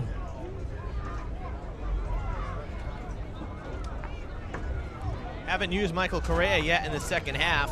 They haven't, but they break out with the same spread offense with Kobe Cabral on your far side left, Michael Carrera on your far side right, and Raheem Barzi, the only running back in the backfield. And Quentin Souza is just running all over the place, and it is intercepted by New Bedford. Number seven, that is going to be Corey Barboza, and what an awful set of circumstances there for the Hilltoppers as they were. As Quentin Souza did a great job, they were running out of the pocket. There was some pressure on him, as you can see here. But uh, New Bedford uh, takes it away with their second turnover of the game. Yep, Souza's second interception of this morning, now going again into afternoon. Second interception of the game, and that one really hurts because you look like you're going to give the ball back to New Bedford. The roughing the kicker, they get the first down conversion, so they're on their way. And yeah, tons of pressure put on by the Whalers to the quarterback, and the pat the uh, the pick thrown. So the Whalers get the ball back. They hand the ball off to number 12, Michael LaJoy for New Bedford. He does a reasonable uh, gain there for the New Bedford Whalers, a gain of about three to four yards there or so. We'll see where they place the ball, and there's going to be a second down and about five, a second and a long five there for the New Bedford Whalers. Ball is placed shy of the 45 yard line, closer to the 44 yard line there for the New Bedford Whalers. Yeah, not a bad run. It faked the handoff to um, it looked like number 14 was running this way, running to the near side, and LaJoy took the ball. They open out in a spread formation with wide receivers to their first side left and their far side right. And it is an incomplete pass and almost intercepted by number 22, Wow. Raheem Barzi. And you see the Durfee sideline jump, squint, and say, oh, oh my goodness. And that's Really? exactly what we were doing up here, too. In- incomplete pass, uh, but almost intercepted by number 22, Raheem Barzi. Exciting stuff here for the Hilltoppers, third down and a long six. Yeah, check this out. The pass going to the far side, and, and Barzi somehow was unable. It, it was right within his fingertips. Just unable to grab it. I mean, you know, we we cheering for Durfee. We're biased. We are the Fall River crew. Oh, We'd yeah. love to see Durfee not have a winless season. So there's a lot riding on this game, and uh, the turnover there. Barzi had a lot of room to run up that sideline. We could have been looking at a 20 to 12 score. We bleed the colors of Durfee football here on Fred TV. Number 15, Mike Raposa takes a snap, and he is met by number four. That is an incomplete pass. Great That is an defense there. incomplete pass, and great defense there Spencer by the Borden. Hilltoppers. Number four, Spencer Borden, meeting their wide receiver and running back number 12, Michael LaJoy. So a fourth and six. They are in Durfee territory, but again, a close game. You got to wonder: would you give the ball back at this spot, or should you punt and try to bury the Hilltoppers deep into their their uh, their territory? And a game that is so important with field position, time, and control of the football, it appears that they are punting. And set back for the Hilltoppers is number 18, who has been the star of this football game. Michael Carrere, number two, also for the Hilltoppers, set set back. Good punt. A fair catch is called by number 18, Michael Carrere. Isaiah Slowick, number two, catches the ball there for the Hilltoppers. So good job there for the New Bedford Whalers, bringing the Hilltoppers deep in their own territory here as they start their drive, this drive, with six minutes and 37 seconds to go in the third quarter. Hilltoppers on top right now, 14 to 12 in this third quarter on Paul Walsh Field here in New Bedford. Talk about how good the Whalers' punt was. Well, even better, the Hilltoppers' defense, because the defense, once again, coming up with a big stop. You turn the ball over, and it didn't matter because now the Hilltoppers have the ball back. They have a long way to go, first and 10 from the 10, so they have to drive 90 yards for a score. But So- they have a long way to go, and they could definitely, you know, take a lot of time off the clock. So we're looking at Spencer Borden leading the Hilltoppers onto their huddle here. He looks to pass it, but he's met, and he is met by a few New Bedford Whalers. Leading that sack there was number 42 for the New Bedford Whalers. That will be Tyler Jacobs. Yeah, Tyler was Jacobs. a loss of five there for the, uh, the. Hilltoppers. As a result of such, it is going to be a timeout taken by the Durfee Hilltoppers, a full team timeout. Coach Jones getting his crew together to regroup here, freshen up with a sip of water, and uh, hopefully come out and execute a solid offensive attack this drive here, Evan.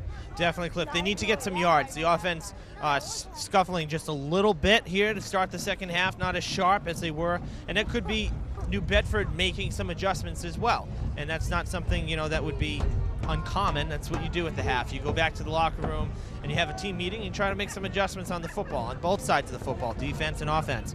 And the Hilltoppers offense, what was clicking for the first half isn't clicking quite so well to start the second half here. So they need to gain some yards because if they get forced to punt from the end zone, it's going to be pretty difficult to overcome. We talk a lot about consistency, Evan. We talk about how important it is for the Hilltoppers to stay, stay consistent on the offensive side of the football.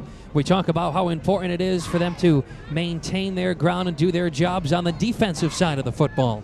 It's very important uh, that you know we're not playing flag football. I'm sure Coach Jones emphasized that at the halftime. Be aggressive. uh, you know, make sure your hands are where they should be and make sure your head's to the football at all times here. So, very important. Little mechanics, people doing the little things is what's going to set the difference and be the ending result of this game. So, the Hilltoppers deep in their own territory at about the five yard line is a second down and long for the Hilltoppers.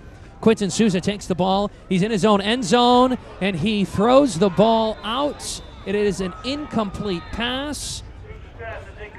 That really that could have been a safety. That was very close. He was close to being sacked in the end zone, which would have given New Bedford two points to tie the game, and also would have given them the ball back. So it would have given them the ball back, but fortunately, number 22 Raheem Barzi was in the area, which, which you know, as you know, a very popular call there. If there was no eligible receiver in the area, that would have been a safety.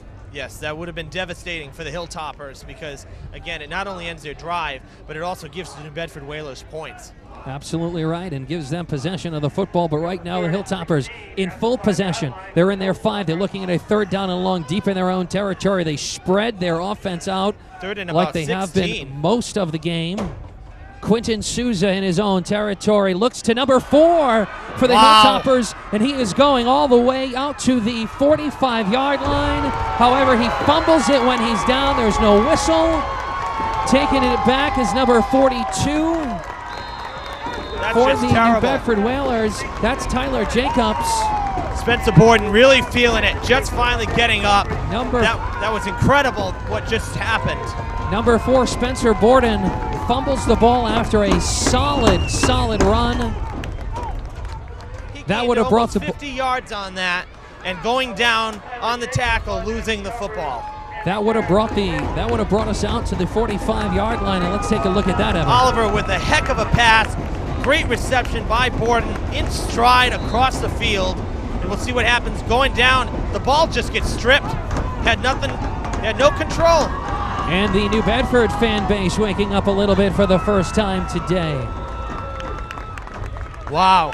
What a shame because Durfee had things going there. And and if we if we had instant replay here, I'm sure Coach Jones would have thrown the flag there because if you look at the replay there a few moments ago, it appears that he was down. But unfortunately, Absolutely. unfortunately, those set of circumstances do not apply here at this level of football quite yet. If these gentlemen do decide to go to the next level, you'll see that at the college level, but not at the high school level, unfortunately. I know. Kept standing here, waiting, waiting for the uh, for the whistle to be blown because his knee was down, and uh, unfortunately, and you saw it at home, his knee was down, so that was the play was dead. And met number 12 there for the New Bedford Whalers. Number 12, Mike LaJoy, is met by a plethora of Durfee Hilltoppers. Leading that was number 74 for the Durfee Hilltoppers. He was there, and, and we, give credit there to Kendrick Dixon for the Durfee Hilltoppers. Also meeting him was senior defensive lineman Manny Fernandez. So it's very important here for the Hilltoppers to stay consistent on defense. They're looking at third down, a third down and five, shy five or so. We have four minutes, 30 seconds. The clock is running here. This is a huge, huge play for the Hilltoppers defense. These next two are very important. They need to be very focused on what they're doing. The handoff goes to number 12, Michael Joy, and he's met by number 74 for the Hilltoppers. That's a loss of two. Number 74, Kendrick Dixon. Also meeting him, number 37, Brad Kilby, the sophomore linebacker. And also give credit to number 76, Cody LaPointe, for being there as well on the tackle for the Hilltoppers. So it's a fourth down, fourth and about six or so. And a timeout is taken by the New Bedford Whalers. A full team timeout is taken as coach decides to get his crew together and talk Smart about decision. strategy. Smart decision, Cliff, because right now you're looking at if you kick the ball, it's a 28 yard field goal, give or take. That's not a bad opportunity to take a one point lead here because the way the Durfee Hilltoppers have been defending, the Whalers haven't done much on offense either to this point. So if I'm New Bedford, I'd say let's take our chances and kick the ball because, worst case scenario, Durfee recovers shy of the 30 and they still have to march 70 plus yards for a touchdown. And credit needs to be due to this Durfee defense, this young Durfee sophomore defense who is coming out, living it all on the field, bleeding the colors of Durfee High School today. Certainly, and a lot of credit needs to be given to this Durfee defense, this young group of Durfee football players who have given it their all And they are going to kick it. today, and they're kicking it Mike Raposa. And I wouldn't be surprised here if they do decide to fake it. He is quite athletic. He's done it before already This today. True. This is true. Going to be ready for anything. Number 15, he goes up. The extra point is up, and it is Field goal is good. The three point conversion is good there for the New Bedford Whalers, and that does put them lead ahead of this game by one point. So we're looking at a score now of 15 to 14 New Bedford. Interesting call there, Evan, from the New Bedford sideline. And I think it's like I said, I think it's a wise call because you know points are at a premium at this point. Both teams' defenses stepping up. That ball actually just made it over the crossbar. That it was a weak kick actually from Raposa. So New Bedford lucky that they were able to actually get the points on that. But nonetheless, New Bedford has a one-point lead, and now Durfee gets the ball back. And they really need to just be cautious. They've had three turnovers. New Bedford has not turned the ball over once. That's a big key in this. Turnovers are very important, as we've mentioned. We're going to continue to stress to you, as you know, the time of possession is important, and how they control the football is equally as important. Turnovers will kill you and will also hurt you uh, tr- tremendously, the outcome of this football game. So the Hilltoppers, uh, I'm sorry, the New Bedford Whalers sent to kick number 15, Mike Raposa. Set a kick for New Bedford. Set deep for the Hilltoppers is 18. Michael Carrere, number two. Isaiah Slowick for the Durfee Hilltoppers. Let's see what kind of offensive attack the Hilltoppers can pull off here, as it's very important they stay consistent and do not turn the ball over this drive. It's a very important drive for this Durfee Hilltopper football team. It is, Cliff. You know, they need to stay consistent, but I think that this is the point in the game now where we're about we're just under four minutes from the final quarter. Durfee needs to change things up a little bit. Looking Pass for game a was working so well earlier in the game. looking for a solid block, and he gets that by the Hilltoppers, number 75, Jaden Texera, helping number two, Isaiah Slowick, move the ball out to about the 33 yard line as he is tackled out of bounds. And a nice block there by the senior for the Hilltoppers, number 75, Jaden Texera. He is 5'10, 250 pound senior for the Durfee Hilltoppers. Yeah, that was a good run back. Very good run back for the Hilltoppers. So they start with pretty decent field position. And uh, I think they need to start going back to those quick passes to the outside because what's happening is I'm seeing Souza way too much time in the backfield, and by the time he's ready to throw it, the offensive line is gone. Number seven, Quentin Souza breaks the huddle with Michael Carrere in a little tighter of a formation set up on his farthest right. Put number two, Isaiah Slowick, in motion. He sets back, looking what to a wide open Raheem Barzi, but also to a wide open number two, Isaiah Slowick, who takes the ball out with a very minimal gain there for the Hilltoppers, a gain of about a yard or so, if any, for Durfee. See, another tough play there. The quick passes to the outside are allowing the Hilltoppers to really expand the field. When they're waiting this long, you saw Souza on your screen taking a long time to pass this ball. You see it on your screen now on the replay. Looking left, looking right, fakes it. It gives the defense a chance to really read where you're going. Quick passes, they have to adjust on the fly. And that's when the offense plays their best. Slowick needed to move a little farther outside. They break the formation with Carrera on your far side left, Kobe Cabral on your far side right. Accompanying him is number two, Isaiah Slowick. And the New Bedford fan base is on fire, looking for that 12th man on the field. Quentin Souza takes the snap. It is a completed pass to number two, Isaiah Slowick. He moves the ball out to Hold about the 40 to about the 45 yard line. I'm sorry, number two, Isaiah Slowick with the completed pass. The clock is moving. That is a Durfee Hilltopper first down. See that? What a difference. Getting the pass off about two seconds sooner, and you have the defense scrambling, and Slowick able to pick up about 10 or 12 yards on that, and they have a first down as they cross midfield. Number two, Isaiah Slowick goes to the sidelines for a little breather. Coming in for the Hilltoppers, checking in, is number 25 for the Hilltoppers. Aaron Tavares, another sophomore. Aaron Tavares, the young sophomore, coming out, getting his first action of the football game here today. Carrere sit up on your far side left. Kobe Cabral on your far side right. Raheem Barzi in the backfield. Snap goes to Quentin Souza. He's going to take it himself. He gets solid, solid blocking from this offensive line going into meeting and blocking is number 76 junior 5'10 195 pound guard cody lapointe also pulling on that one was number 43 sophomore alex benavides Yeah, Souza got a nice block there. He's able to gain about three on that, so that's pretty good yardage on a take it yourself run. So now a second and seven coming up. Second down and seven. Hilltoppers break their for, break their huddle with Carrera on your far side left, Kobe Cabral on your far side right, Raheem Barzi in the backfield. Also checking back into this game is number four Spencer Borden, and also 25 Aaron Tavares is also uh, in this ball game as well. Taking it himself with a fake to Raheem Barzi is Quinton Souza, and he is tackled out of inbounds. I'm sorry, and that looks to be good for a Hilltopper first down, and they are going to. We haven't got the official yet from Charles Ashley. Let's see after he takes a look with his wingman and lineman exactly what the call is going to be. That looks pretty good from our vantage point. And he might measure this because how close this is. We're not sure, and he is. He is going to take the measurement crew out. That's a smart decision. You want to get it right. You know, again, you said there's no replay, so you can't throw a challenge flag to, to challenge the spot of the ball. So let's just get it right initially, right on the field, get the measurement, and uh, we'll see if Durfee has to grab a couple inches or if they've got the first down. They may be about an inch shy. This, this, it all depends. And they and it all depends, but it, regardless, we're going to see the result. It will. It is a second down here right now, and let's see what we have for a call. Charles Ashley will be the one giving us the the call, and have they set the chains? First It's a down. first down. It is a Hilltopper first down. So that is great movement there for this Durfee offense, who are moving the ball nicely so far on this drive, and it's important that they do stay consistent here, Evan. Yes, and you know Souza, I like him calling his own number taking the ball two times in a row. They were set up for a pass. Had four wide receivers ready to go.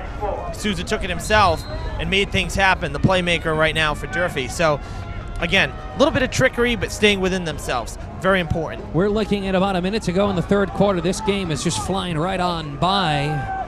Hilltoppers break the huddle with their common spread offense. Quinton Souza on the snap. And he is met. There's a penalty marker on the field. A few penalty. We see one penalty marker on the field. And this might be against the Hilltoppers. You might see a hold here. See, and he's lucky there was no intentional grounding called on that because there were no Hilltoppers in the vicinity of that football. Charles Ashley speaks to his umpire as trying to find out the result of this play here and how the call will be.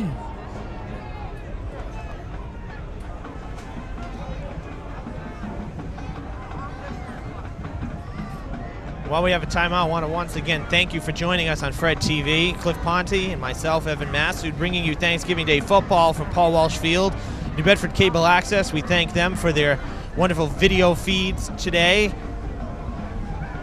We're interesting to see the result of this play. The referee speaking to Dennis Golden, New Bedford head coach. The flag marker is still out on the field. And it is a hold against the Durfee Hilltoppers. They have decided to decline the penalty. Also, there was a another penalty there for the Hilltoppers. And that was, it looked like, It looks like to be intentional grounding against the Hilltoppers. They declined the first penalty. They took the intentional grounding penalty.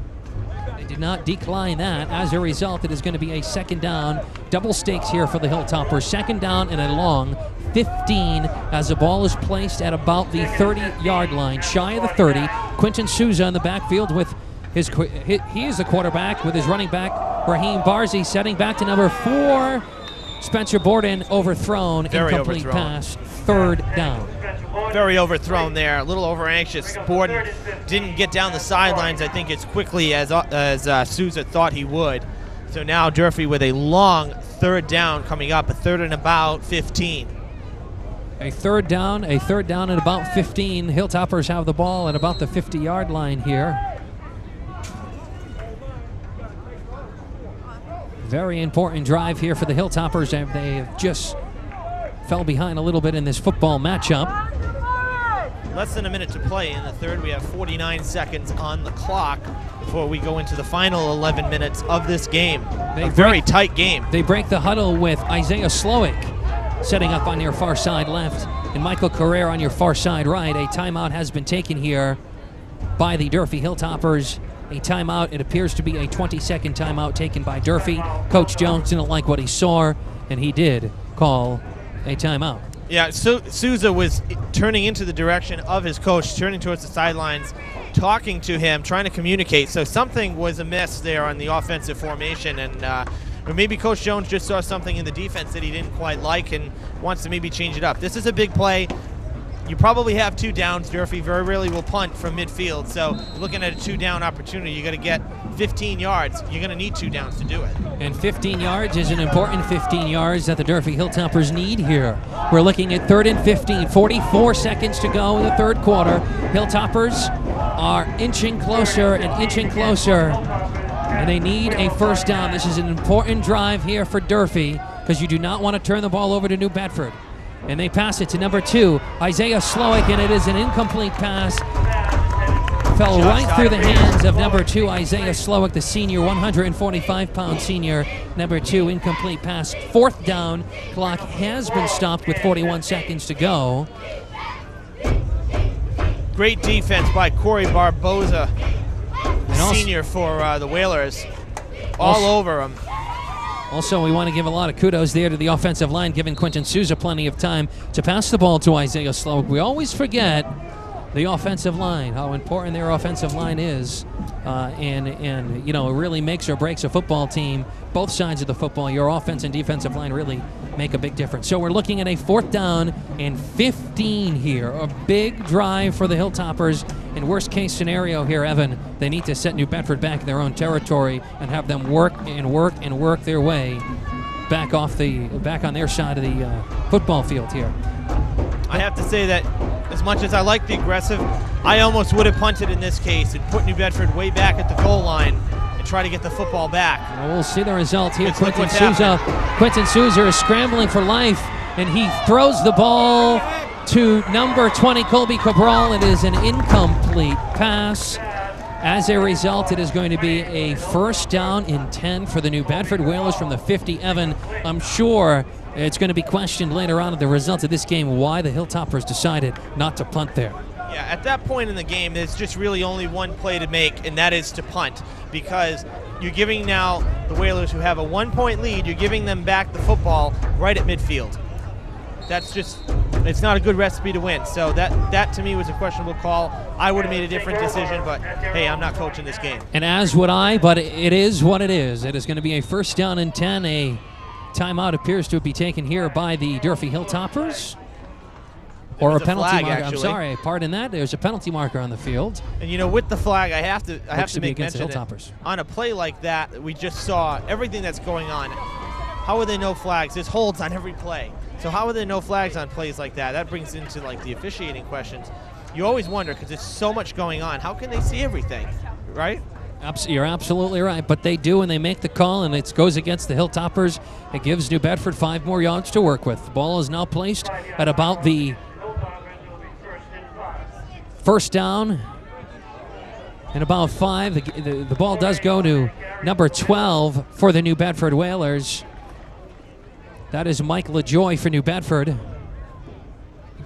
Grabbed about a yard on that. so looking at a second and four. Second and four from about the 44 yard line, or they're about shy of the 44. Second down. It's a big drive here, and I, I think I've been saying that for the last 10 drives here for the Hilltoppers because every drive, whether they're on the offense or defensive side of the football, is equally as important, and a timeout has been taken here by the New Bedford Whalers. So, Evan, a game that is so important, and I know we sound redundant, but I guess it's the key ingredient for success here this, this morning or this afternoon field position. And again, we, we're going to probably question Coach Jones' decision there not to punt the ball because New Bedford could easily be closer to their, their own 30 or their own 40, even if it was not a good punt. That's but sure. instead, they give them solid, solid field position.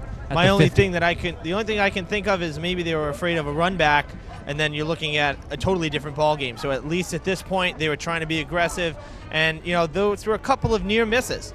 Um, they they had plenty of opportunities despite the pressure from the the pass rush.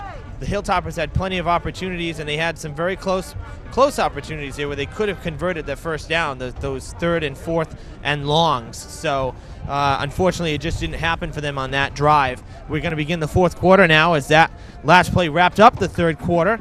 We got 11 minutes to play in this one, and it's another nail biter on Thanksgiving morning. So the Whalers quarterback Mike Raposa comes into this game with 14 touchdown passes, which is three short of tying a single season record. in this young Durfee defense, who has played very, very well and consistent so far this game, is looking to stop this.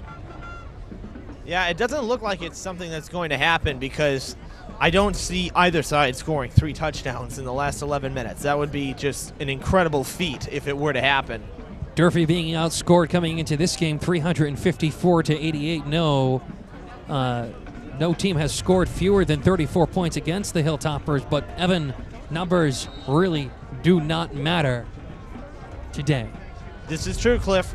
They've only allowed 15, and uh, they'd have to really, really lose and unravel in a hurry if uh, they are allowed that many points in this one. So Second- a lot of things going right in this one for the Hilltoppers. Second down and three. A timeout has been taken again, I believe, here. Trying to deter. Timeout has been taken by the New Bedford Whalers. A 20 second timeout. Coach didn't like what he saw. He's going to switch things up. So as we get begin the uh, fourth quarter here, just after 12, coming up on 12:30 Eastern Time. Uh, we once once again want to thank everybody for tuning in today on Fred TV for our Thanksgiving Day coverage, and we thank New Bedford Cable Access for their cooperation as they're providing us with uh, the beautiful pictures that you're seeing on your screen this afternoon. Also, would like to remind you to join us next weekend, first weekend of December, for Operation Christmas Telethon at the Harbor Mall. It's live. We're there all weekend. Also, the Christmas Parade is next Saturday as well. Holidays right around the corner. And a great block there by New Bedford's number four. That's going to bring him deep. It's good. He's going to continue to move his way downfield. That brings him up to about the 20 yard line or thereabouts was number 12, Mike LaJoy. And there was a big block there by number four, Stephen Azor, the 5'9, 175 pound wide receiver. And you can see it here. Yeah, that was just uh, a great run. He just refused to go down, refused to give in. Tough guy, staying on his feet, down the sidelines, finally tackled by number 41 of the Hilltoppers. That's Captain uh, Manny Fernandez. Manny Fernandez leading this Durfee defense, senior for the Hilltoppers. He's a senior, number 41, 5'11, 215 pounds. Number 15, Mike Raposa takes it himself, tackled by number 37, sophomore Brad Kilby for the Hilltoppers, who has played tremendous in this game so far. The young sophomore linebacker. Durfee got to be happy with what they're seeing from the young players, uh, especially in this game, because this is the future of the team. Seniors, this is for the seniors. This is it. So the sophomores and the juniors are going to have to carry and fill in over the next couple years. So, gotta like what you're seeing so far in this game. Second down in six, 10 minutes, 12 seconds to go in this ball game. Thanksgiving morning, Paul Walsh Field, Cliff Ponte, Evan Massoud giving you uh, coverage here. Thanksgiving afternoon. Mike Raposa opens up with a spread offense here, takes the snap, looks to throw, scrambles to his far side right, and completes the pass. That completed pass does go to number 82 of the New Bedford Whalers. That is Tyrell Rodriguez for the New Bedford Whalers. So that gives them a first down and goal. And Evan, hopefully things aren't falling apart for this Durfee defense. It kind of looks like it so far, and like I said, you know, it could be one of those situations where New Bedford's making adjustments. You're going to see Raposa get a lot of pressure here as the pass rush comes storming at him, and he makes a sidearm toss on the run. Great pass there. That was just really great athleticism. Raposa takes it himself. He scrambles now to his far side left. He's going to try to make the corner of the end zone. He's not pushed out of bounds by number 22, Raheem Barzi, but it is a touchdown. He does make it inside the corner of the end zone, and that gives the Hilt, the New Bedford Whalers the lead. And looks like Coach Golden is going to go for two here. Wow. It didn't look like it from this vantage point. You know, again, we're in the press box. We're looking through some uh, some walls, some pillars here. We are So looking through quite a few pillars up here in the booth, to be honest with you. Very difficult to see uh, the corner of the end zone. You see your replay here. Somehow he got the, the arm extended. That's one of those where if I was a coach and we had replay, I'd be throwing the red flag just to get a second look at it. But unfortunately, it is what it is. Yes, so 21 to 14 now. The Whalers ahead of Durfee, ahead by seven points, and it looks like, as, as you said, they're probably going for two here. as They're lined up at the line. And they and they open it up with a penalty marker on the field, probably a delay of game here for the New Bedford Whalers. We'll see what Charles Ashley has to say. That may uh, change the decision. And actually, he's going to wave the flag. There is no penalty marker on the field as a result of such. So this Whalers team has been potent offensively. I'm sure, Evan, the fact that they did not have their star uh, wide receiver today playing for them certainly made a difference in their offensive attack and their game plan. Yeah, I would tend to say so. Anytime that you lose a star player, um, it's going to have effects on on the team on the team as a whole. Never mind just offense or defense, just in general, because you're missing one of your your playmakers. So that that's a big deal. Um, I'm not sure what happened on that last play. I, I always wonder when they pick up a flag, why'd you throw it in the first place? But but you know, seriously, if you thought there was a penalty, there must be something going on. But uh, nonetheless, New Bedford features comes into this ball game with a solid run attack. We haven't, which we've seen much of, you know, tailored by their quarterback Mike Raposa. Mike LaJoy has enjoyed 11 touchdowns this season. Kevin Noons, who's not playing, has enjoyed eight. He was their wide receiver who is not playing today. And the trio has accounted for 19 of New Bedford's 28 touchdowns. So they break the huddle with Number 21 in motion, hand the ball off to number 12, Mike LaJoy. He looks to number 15, Mike Raposa. They go for two. They're successful with it. how about that? That was just sweet. That was set up perfectly, and New Bedford goes for two, and they take a 23 to 14 lead here at Paul Walsh Field. And it is very important for this Durfee coaching staff and Durfee football players to stay focused because nine minutes, 22 seconds to go in the fourth quarter, plenty of football left. Yeah, and it's a two possession game now with that two point conversion because Durfee needs two scores. They can't take a lead or tie this game with one score of the football, with one scoring drive. So uh, lots of work to be done now for the Hilltoppers. Saturday, December 1st, we ask you to please join us for live coverage of the Christmas parade in Fall River where they light the tree and you can join us. We're also going to be doing team action, double team action. We're also going to be bringing you Operation Christmas Telethon this time uh, next weekend, the first weekend of December. So the Christmas parade, we're going to be doing double duty. We got to thank everybody who puts it all together, starting with Renee Kochman, producers Mike Ferrera, Alex Mello, Gary Leet, Phil, and the New Bedford crew.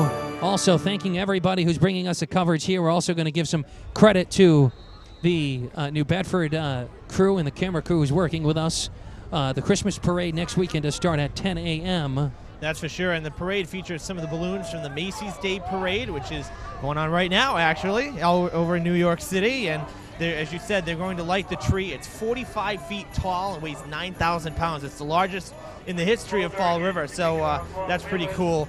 Uh, it should be a lot of fun. I can't wait to drive by Government Center and see what it looks like. So we'll be busy next weekend. Hope you can join us for that. But we're busy on the football field right now. Number two, Isaiah Slowick takes it all the way out to about the 32 yard line for the Durfee Hilltoppers as the Hilltoppers enter this drive in a two possession defeat right now 23 14 in the fourth quarter with about 9 minutes and 14 seconds to go. Yeah, lots of work to be done, as I said, for the Hilltoppers. They need to play now with a little sense of urgency, uh, something we didn't see go at the end of the uh, first half. They let the clock wind down, and what's going to happen? The clock is not going to be your friend right now. You need to find the end zone. You need to stay within yourselves, and need to really make some quick plays, make some adjustments, because New Bedford has done that. Durfee hasn't made any adjustments, and that's why they haven't scored in the second half. So I'm blocked by a pillar directly in front of me right now, so I'm going to do my very best to tell you what's going on. So bear with me as we bring you coverage of football here. The beauties Quit- of live television, Cliff. Quentin Souza leading the Hilltoppers, putting number 18, Michael Carrere, in motion. Passes the ball to number 18, Michael Carrere. He takes it all the way out. He's moving to about the 42 yard line as he's pushed and taken out of bounds by number seven, Corey Barboza of the New Bedford Whalers. just shy of a first down, maybe about a yard or two, but this is something, this is what's been working for Durfee. You can see, look at that. Snap, quick pass to the outside, and run with it. That's what was working so well for the Hilltoppers in the first half. We haven't seen much of that here in the second half, and if they're going to score any more points in this game, I think they need to go right back to that original game plan. Durfee needs to get back to the consistency of what made them successful the first half of this football game, and let's see what they do. But this time they open up with Michael Carrera on your far side right. They don't open up with a, a they actually put number four Spencer Borden in motion from your far side left, moving halfway through the center in the A gap. Number 22, Raheem Barzi puts a solid block down. It was complete to number four, Spencer Borden. There was a penalty marker on the field. Big hit by Cody Fumo, the tight end for New Bedford, a senior this year. And there appears to be a false start against the Durfee Hilltoppers. That's going to send them back five. It will remain second down. So that's going to hurt. What was the second and four is going to be a second and nine, almost back where you started. Depending on what Coach Golden decides he wants to do, does he want to take it or set him back? And it is a false start against the Hilltoppers. It's going to set them back five. It's going to be a second and nine, as you mentioned, Evan. It will remain second down. You know, most of the time, I say 99% of the time, you see coaches take the penalties, but in this case, it would have made it third down and four versus second and nine. So now you're giving the Hilltoppers two more opportunities to get a first down. I would have maybe de- declined the penalty on that one. Second down and nine, 23 14. New Bedford, eight minutes, 30 seconds to go in this fourth quarter of football. Paul Walsh Field in New Bedford. Quentin Souza breaks the huddle with his team. Carrere to your far side right, putting number four Spencer Borden in motion. He sets up in the A gap, looks to be the same play again, and they do. He sits back to pass, and he is met by a few of New Bedford Whalers accompanying him and starring in the play for New Bedford is number 52, Tyler Arena. So that sets the Hilltoppers back deeper than they really want to be right now in a drive that is oh so important for them to score. That's a big, big loss right there. The snap, and you're right, it was the same play, but the Whalers defense was ready for it. Number 52 for the Whalers, uh, big part in that. That's Tyler Arena, the other captain for the Whalers, and they knocked Durfee back a good 10 yards. So third and 20 coming up, a near impossible situation. Third down and 20, third and long for the Hilltoppers. They started this drive within their own 40, now pushed back to their own 20. Third and 19. They need 19. Clock is ticking away. Seven minutes, 30 seconds to go in this football game. New Bedford on top, 23 14. Quentin Souza moves farther and farther back, sets to throw. It is, in, it is intercepted by number 30 for the New Bedford Whalers. That is Carl Santos. And that will be the third turnover of this football game for the Durfee Hilltoppers and Evan. We might have to look back at this football game at the end and see the turnovers really is what set the difference. That's for sure. You're going to see the replay on your screen. Uh, Souza has time, but he kind of rushes it, and the defense was ready for it. Great pick there, leaping catch. That's actually the fourth turnover, third interception. But you remember there was a fumble. Spencer Borden fumbled it back towards the end of the half as well, end of the first half. So that that just that might seal this one. I, I am going out on the limb and saying that because seven plus minutes to play. You need two scores in this one, and it's just not looking too good for Durfee at this point. Interesting to see what New Bedford does. They decide to put the ball on the ground. They hand the ball off to their star running back, number 12, Mike LaJoy. He is met by number 37, sophomore Brad Kilby.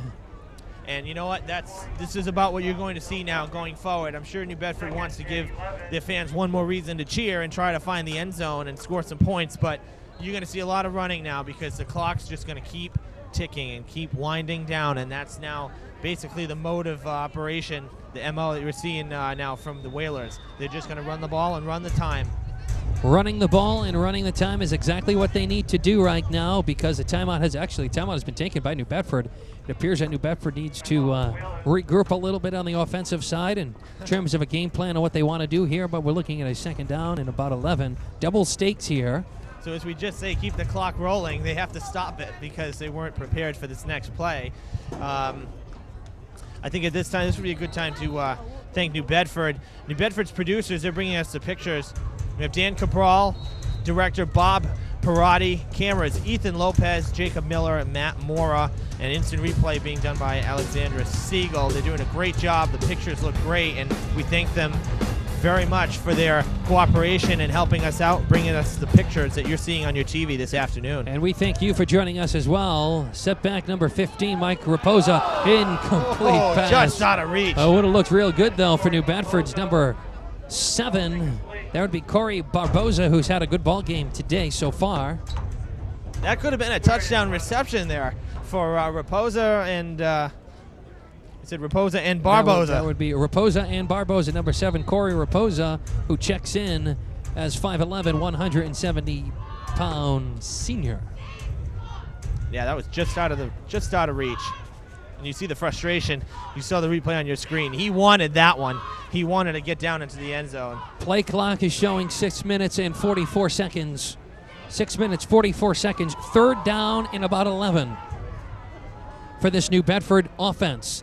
Step back looking for a pass number 15, Mike Raposa, and it is an incomplete pass intended for number 12, Mike LaJoy. Seeing a lot of pressure in there with pressure was number one for the Hilltoppers, Jonathan Torres. Also accompanying him was sophomore linebacker Brad Kilby. Also in on that action, Manny Fernandez. So plenty of good pressure there. And that- Definitely. And, as a result of that, it is a fourth down here for the New Bedford Whalers as the ball is placed shy of the 45 yard line, closer to the 46 yard line here, 45 yard line, 46 yard line or so, give or take. So Raposa getting up. He's getting ready to kick this one, but he was kind of wiggling and stretching out his throwing arm. So that's something we're going to keep an eye on as we go towards the end of this game. Uh, he came down hard uh on the pass rush. Durfee tackling him. And the punt is what they do elect to do.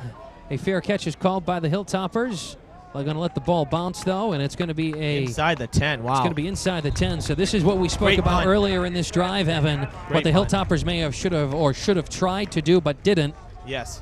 They should have punted the ball because this is the situation that would have happened earlier in the game when New Bedford had such good field position after the fourth down. If Durfee had punted, you would have seen a similar situation like this and made New Bedford have to actually really drive down the field. So with this six minutes and 35 seconds to go, it is a first down and 10 for the Durfee Hilltoppers within their within their own territory, deep in their own 10. Looks to be about the nine yard line or so, where the official pinpoints us. I think it's time to uh, try to start running the ball as well for the Hilltoppers because to try to pass, the pass rush for the Whalers has been really good in the second half. The last thing you want is a safety in the end zone. They're so close to the end zone. But nonetheless, look at setting, getting back. setting back to pass, and it is complete to number two, Raheem Barzi.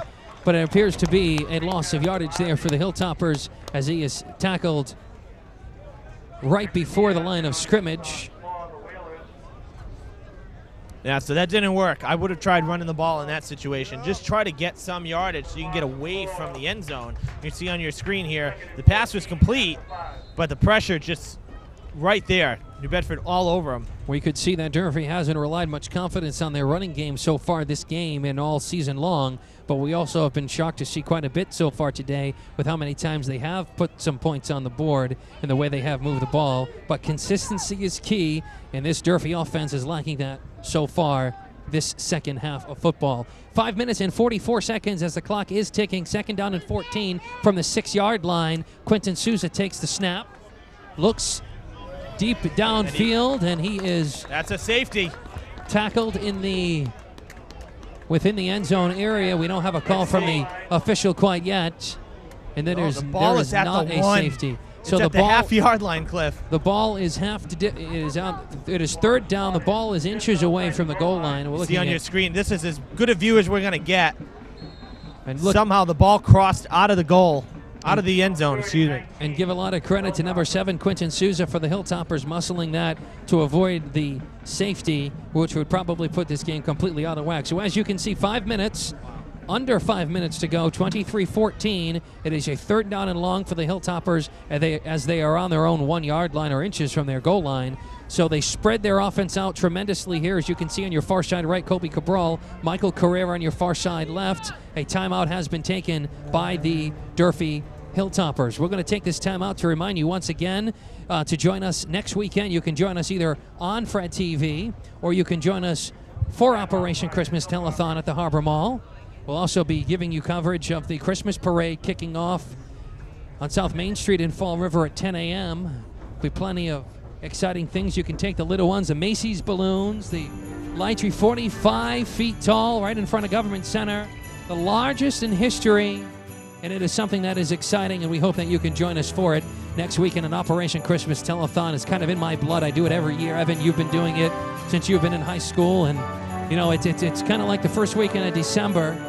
It's the first feeling of Christmas. It's the first feeling of Really, Christmas. And right is. after Thanksgiving's over, everybody really focuses their time. And we need to tell you how important it is to join us next weekend for the Operation Christmas Telethon because the times are tough and the economy is tough, and we need your help in helping the underprivileged children in the city of Fall River and the greater Fall River community with our friends at Citizens for Citizens. Barbara does a great job. She's stressing calling Renee every 15 minutes probably right now, but it's all meant for good. Uh, and it's, we ask it is. you, It's it's all for the good, and and you know there's going to be a lot of great auction items. That's the big moneymaker. That's what really helps this charity and this, this charitable event, I should say.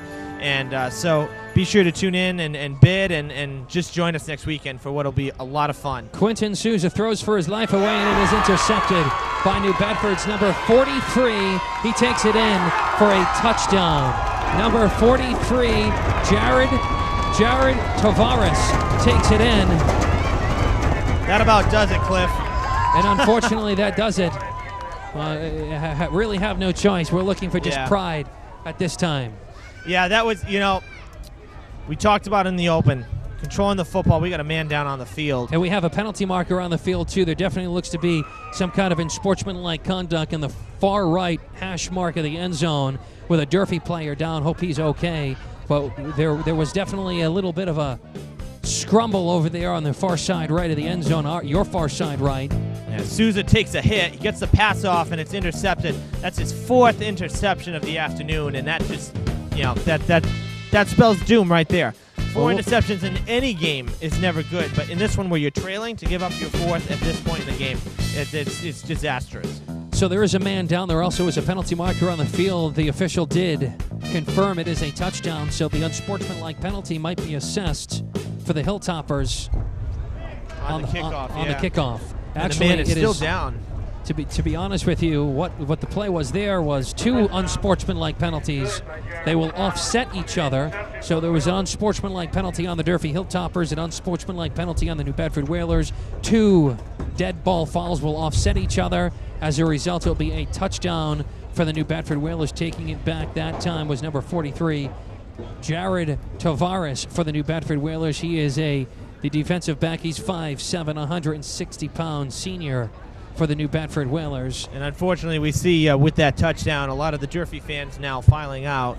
Uh, you can we saw it on the screen. They're starting to leave, and you know, again, the game's it's all about fun. It's all about tradition. I'm sure Durfee really wanted this one, but it's at this point pretty much out of reach. Under five minutes to play, um, and you're looking at three or four possessions now. It's not going to happen. Cliff Ponte, Evan Massud bringing you coverage of New Bedford Durfee football in, in, in a football game, Evan, that's been going back since 1910. And we were discussing at the Open, we discussed different parts of the game today. You know, everybody was coming up, and even, you know, our colleagues here in the booth were discussing, I don't know about this football game. Durfee has appeared to be very weak in a lot of their football games. Yeah. But they came out poised, they came out strong. A very young defense, a very young offense, a very young team overall who's seen quite a bit of turnover. They, Durfee did graduate a very, very uh, high class last year of seniors, Yes. uh, which, a- as a result of that, uh, definitely did hurt them the beginning stages. But they did come together, and a lot of credit needs to be due to this Durfee uh, football program for coming together. Even though the results are not what they wanted, they did play clean, hard-nosed Durfee football. Is what Absolutely. is you know what is the Bible for Durfee football that uh, give you know Coach Steve Wanowski when his tenure was here, uh, stuff that he envisioned and and and, and the. Uh, the work ethic he instilled in his football plays is carried out into the Pop Warner stages and also to this stage with Coach Jones now at the helm for this Durfee football program. That's for Set to kick the extra point is number 15, Mike Raposa. He's successful at that. It is 30 to 14 with 4 minutes and 20 seconds to go here in a game that has c- gone completely out of whack here, Evan, uh, for this Durfee football team. Yeah, 18 unanswered points here. Uh, Durfee has not scored at all in the second half, so New Bedford clearly made plenty of adjustments and, and changes to their game plan at the half. do want to make a quick note. Uh, the injured player on the field that was Durfee's junior, Cody Lapont, uh, Lapointe, excuse me. Uh, good to see him getting up and moving under his own power. Um, and uh, we'll try to see if we can get any information onto what happened in that situation. The 5'10, 195 pound juniors had a great game on the offensive and defensive side of the football. Was Cody Lapointe for the Hilltoppers. And a lot of the seniors uh, that we need to make mention here, Evan, uh, on this Durfee football team, which are not many. Uh, we're going to Isaiah Slowick, number two. He's a senior. He's graduating this year. Uh, number four, Spencer Borden. He's a captain. Uh, Quentin Souza. Uh, we also have uh, pay some respects to the senior class as well from Troy Travasos, uh, Max Mercer, uh, Joey Manchester, Manny Fernandez, You got Raheem Barzi too. Raheem Barzi as well. We have um, we have also uh, Jaden Silva is a senior. Omi Montetez, uh, Bryce Lambert, Alex Costa, Jaden Texera, who's had a great game on the defensive line for the Durfee Hilltoppers. Jacob Kennedy, also an offensive lineman who's done quite well for this Durfee uh, offensive line. Picked up here, number 18, Michael Carrera, who's had a great game for this Durfee team. The sophomore takes it out to about the 30 yard line. Also, let's continue on that list. Number 83, Domingo Estrella, and Jose Soares, also uh, the senior class. And, and this is the time of the year, there's a lot of these men, you know, put their uniforms on for the very last time, Evan. Yep, and, And- they're uh, you know they're playing in their last minutes of, of high school football, and some of them probably going on to play college football. Some of them maybe not. Maybe this was just a fun way to have uh, play in a team sport. So some pursuing other ventures as well. we discussed during the half the not only does it help you as an individual but you the lessons that you learn playing Durfee football are, are, are unbelievable that is an incomplete pass intended for number four I Spencer Borden. For the Hilltoppers the senior 180 pound senior for the Hilltoppers who's had a good game accompanying him was number 18 Michael Carrere who is only a sophomore I'm sure a lot of light at the end of the tunnel for this Durfee football program. Also, uh, I want to make note number 43, Alex Benavides. He's only a sophomore starting guard for the Hilltoppers. He's 5'8", 190 pounds. Also, a pretty good wrestler for this Durfee football. uh, Absolutely. this Durfee football program. And that'll be on his mind as soon as this game is over because the winter season is very close to starting, and uh, that's when the wrestling season begins. Number two, Isaiah Slowick on the completion for the Hilltoppers. That brings them out to about a four-yard gain there for Durfee. New Bedford 30, Durfee 14. The clock is winding down with just about four minutes and 10 seconds to go in this football game. We thank you so much for joining us today and And enjoying this corrected. coverage. I saying that that could be the first thing on Alex's mind. I'm thinking that on everybody's mind on the field, a turkey feast is first thing on their mind Of as soon as this game is over. Of course, you know, you, you work hard. I haven't eaten anything all day because I was in a rush because I was afraid I was going to hit some, you know, Traffic. Thanksgiving traffic or something. Possible. Nobody's even out on the roads, and I'm worried about traffic. But nevertheless, we're here, and, and everything went so far so good here uh, on our side of things. We need to thank our crew. That That's is an pass incomplete interference. pass. Totally. Definitely a pass interference there. That goes to number nine of Hunter the New Bedford. Whalers, Hunter Fugel. Not happy about it, the tight end, but that was clear. He tripped up. Uh, was it Correa? It was Michael Correa that he tripped up. So And that that's a good call by the officials. That is going to result in an automatic first down for this Durfee offense, which needs every break that they can take. Definitely. And you know, we talked about my predictions about people maybe kicking me for my predictions. My prediction was pretty close now. Now that we're seeing how this fourth quarter is panning out, 30 to 14. My prediction was 37 to 18 New Bedford. So we're pretty close actually. I'm, I'm pretty uh, surprised. Did you bet the spread, Evan? no, sacked in the backfield. and sacked in the backfield is number seven, Quentin Souza. Now all Durfee's really doing is playing for some pride, and hopefully they walk off this football field with their heads up, with Durfee pride all over the place, because this Durfee football team and this football program has shocked us Yes. and has shocked a lot of people the way they played here today. played their hearts out in this one, and uh, that's you know again, it's all about heart, it's all about tradition, it's about rivalry, friendly rivalry. We haven't really seen any unsportsmanlike conduct until these last couple of minutes where we saw that, and you know it's this is such a tradition-rich thing, and it's it's it's so much fun to be a part of. So this is going to mark New Bedford's fifth straight New Bedford win. The last time the Hilltoppers won on Thanksgiving morning was in 2007 when that BJ finalized uh, three years in a row. when BJ McDonald and his Durfee offense pulled together a solid win, 37-34. Durfee did win in 05, 12 to 7, which was a nail biter. In 06, 20 to 13, and 06 07 was here in the rain. It I remember was. that I remember one. that in snow, and boy, was it cold. uh, and in 2008, New Bedford did beat uh, Durfee uh, 37 to six. In 09, New Bedford manhandled Durfee 49-28, and it got closer and closer. In 2010, New Bedford uh, beat Durfee 21-7, and in 2011, it was a close one, going to the final minutes of that one last year at Durfee High School, 18 to 16. Yeah, this one kind of falling fell apart here in the second half for Durfee because, as we said, they were up 14 to 12, something I don't think anybody expected, Durfee or New Bedford. And um, well, pressure again on Souza, and he's sacked again. The, the clock is Wow. under three minutes now, and Quentin Souza's feeling the pain. Sacked by number 40 of the New Bedford Whalers defense. That sack credit goes to number 40, Cody Fomo, for the New Bedford Whalers. Yeah, he went right around number 74 for Durfee. That's Kendrick Dixon, uh, right around the offensive line, and just sacked him. Looking at a fourth and about uh, 22. That's just, it's time to punt. it's it- definitely time to punt. It's definitely time to punt. We've seen crazier things happen, though. Evan, last year. Durfee hosted New Bedford coming into the game with a 1 and 8 mark, while New Bedford needed a victory to secure playoff berth last year. And it was far They're from easy it. for New Bedford last year. And in the beginning stages of this game, it was completely, uh, completely different as well. That punt, I don't think I've ever seen anything like that. The snap was dropped by Spencer Borden, ran to the far side like he was going to carry it, and then like drop kicked it across the field. Somehow able to get it down to the 35. That was something I don't think I've ever ever seen. not at this level anyway. Wow. But as we always say, high school football, expect the unexpected. Anything can happen. So last year, uh, Durfee trailed New Bedford 18 to 8 going into the halftime, and Durfee came out strong and hard after halftime last year, and it was an inches and inches away, a game of a possession last year, 18 to 16. And this year, Evan, the tides changed. New Bedford came out with adjustments and made strong adjustments, and as you can see, it really shows at the final. It does, yes. 30 to 14 right now is the score, and uh, unless New Bedford plays in a hurry-up offense just to run up the score, which you know every minute of the game is part of the game, so I have no problems with an offense that wants to keep things moving. Uh, we see that from the New England Patriots all the time. That's how they that's how they live is, is you know running the ball and moving the ball and always playing the game hard no matter what the score is.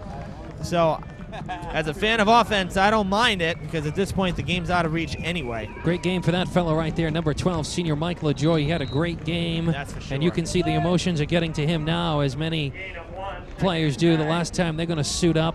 Yeah, the last lots of time, hugs on the sidelines. You see, the last time he's going to suit up for maybe for the rest of his life. But you know, he left it all on the football field today. Much did both Durfee and New Bedford. Yes. Handoff does go to New Bedford. wow, nice run. And a nice run brought there by New Bedford's number 36.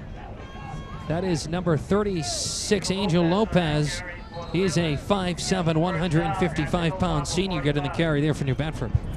So, Cliff, we're coming up on uh, 60 seconds left. What are your thoughts going forward here into next season? I think that the, the Hilltoppers, and, and we were speaking to the athletic director, Vic Pereira, prior to this game today.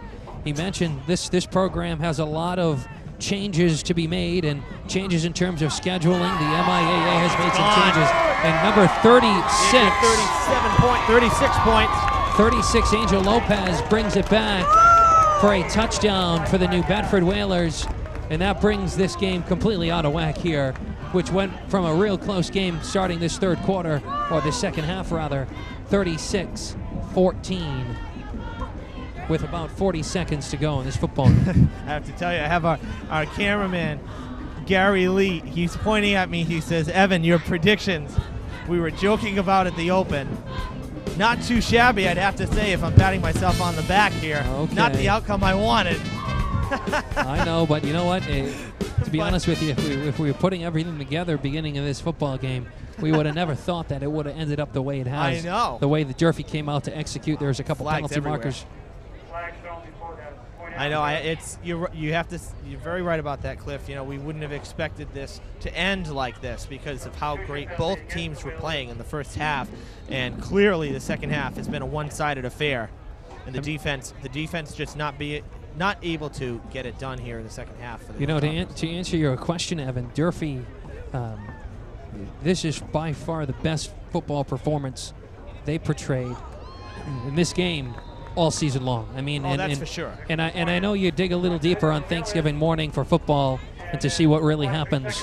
Uh, but you know, it, Durfee coming into this game being outscored 354 to 88, you would have never known that. This looked like a team who, who were, were filled with veterans in the beginning of this this this game, and it is certainly not the case. So a team that definitely has a lot of light at the end of their tunnel, uh, with a young young offense, a young defense. I mean, their offense. Uh, anchored by number seven, Quentin Souza. Uh, I mean, he, he had a tremendous game. Uh, Raheem Barzi's a senior. He's 5'11", 185. He brought a lot of leadership, and Coach Jones mentioned in the Herald News today how important that was uh, for his leadership and Spencer Borden's leadership and Isaiah Slowick's leadership. I mean, these these seniors uh, definitely brought out a lot, and, and, and especially a lot in themselves as men and young adults, and also the younger the younger men. Uh, young adults who are going to be playing in years to come here at Durfee High School. Of course, because as a captain, you have to set the example, and uh, they they showed how to go out. And unfortunately, this group of seniors don't get to experience a win on Thanksgiving Day because New Bedford now will make it five straight with this win today. Um, but with that said, though, they played with a lot of pride. It's always about Durfee pride. That's something that Superintendent Meg Mayo Brown and Principal Paul, Paul Marshall always stress. No matter what the outcome, it's about playing with Durfee pride and playing, um, just playing good, solid teamwork and having good sportsmanship. That's what it's all about. Six underclassmen started today on the offensive side, eight for the offense. Number 18, Michael Correa, who had a superb first half, is tackled at just shy of the 15 yard line with about 36 seconds to go. Hilltopper's probably going to run the ball, run this game out, unfortunately. And the result wasn't what we anticipated or what we were thinking going into the third quarter here, Evan. but it is what it is, and, and I'm sure there's going to be a lot of lessons learned from, from everybody. But really, Durfee, and we'll discuss this more in our post game, but Durfee really has nothing, nothing to be ashamed about. They put all their absolutely heart on this football field today. I don't think any team would, regardless of what the outcome is on Thanksgiving, I don't think any team, Durfee or New Bedford, or even stemming to other rivalry games, you know, throughout the Northeast, there is uh, there's nothing to hang your hat about. They're always we would always playing with pride. We would like to thank our staff and the and the crew that was down in our truck who was here nice and early this morning, away from their families.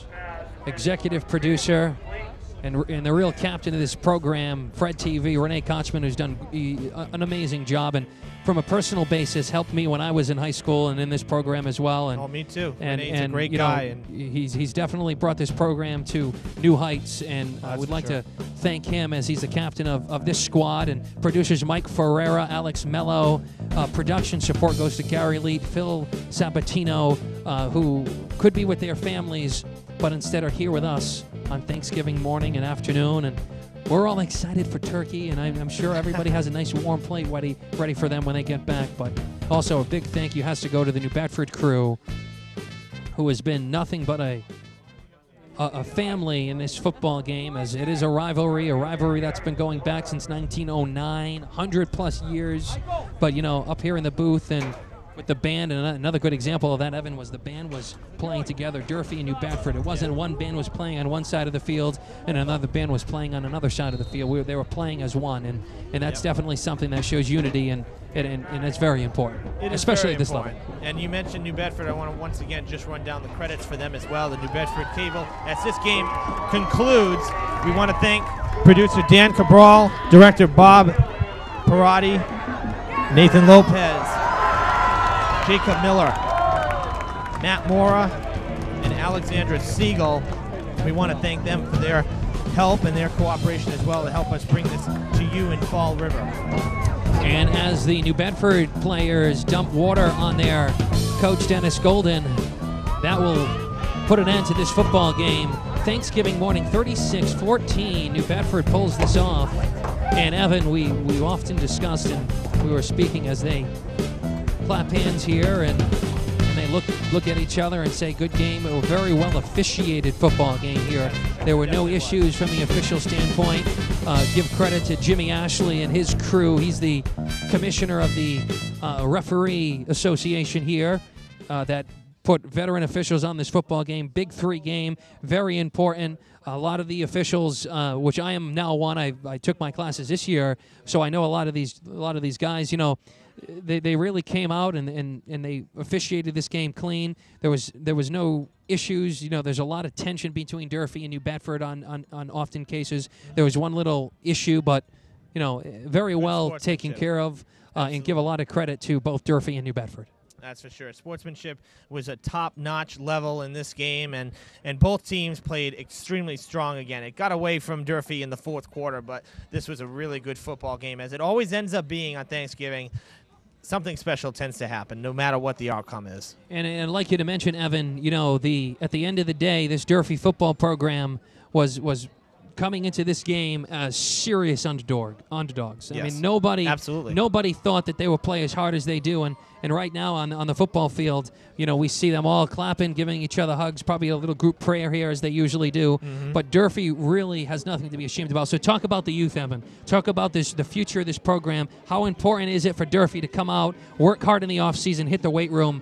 And really have a good product in the football field next year. Well, I think they have a great future. You know, this winless season is something that's going to really stick in the players' minds that are returning for next year. It's not something that they're going to want to have happen next year. And I think the biggest key come out on opening day with your guns rearing and score a lot of points and win opening day or opening night, depending on when they play. That's that to me is going to be a big key to how the rest of next season goes. Because if they start winless, it's just going to be like, up.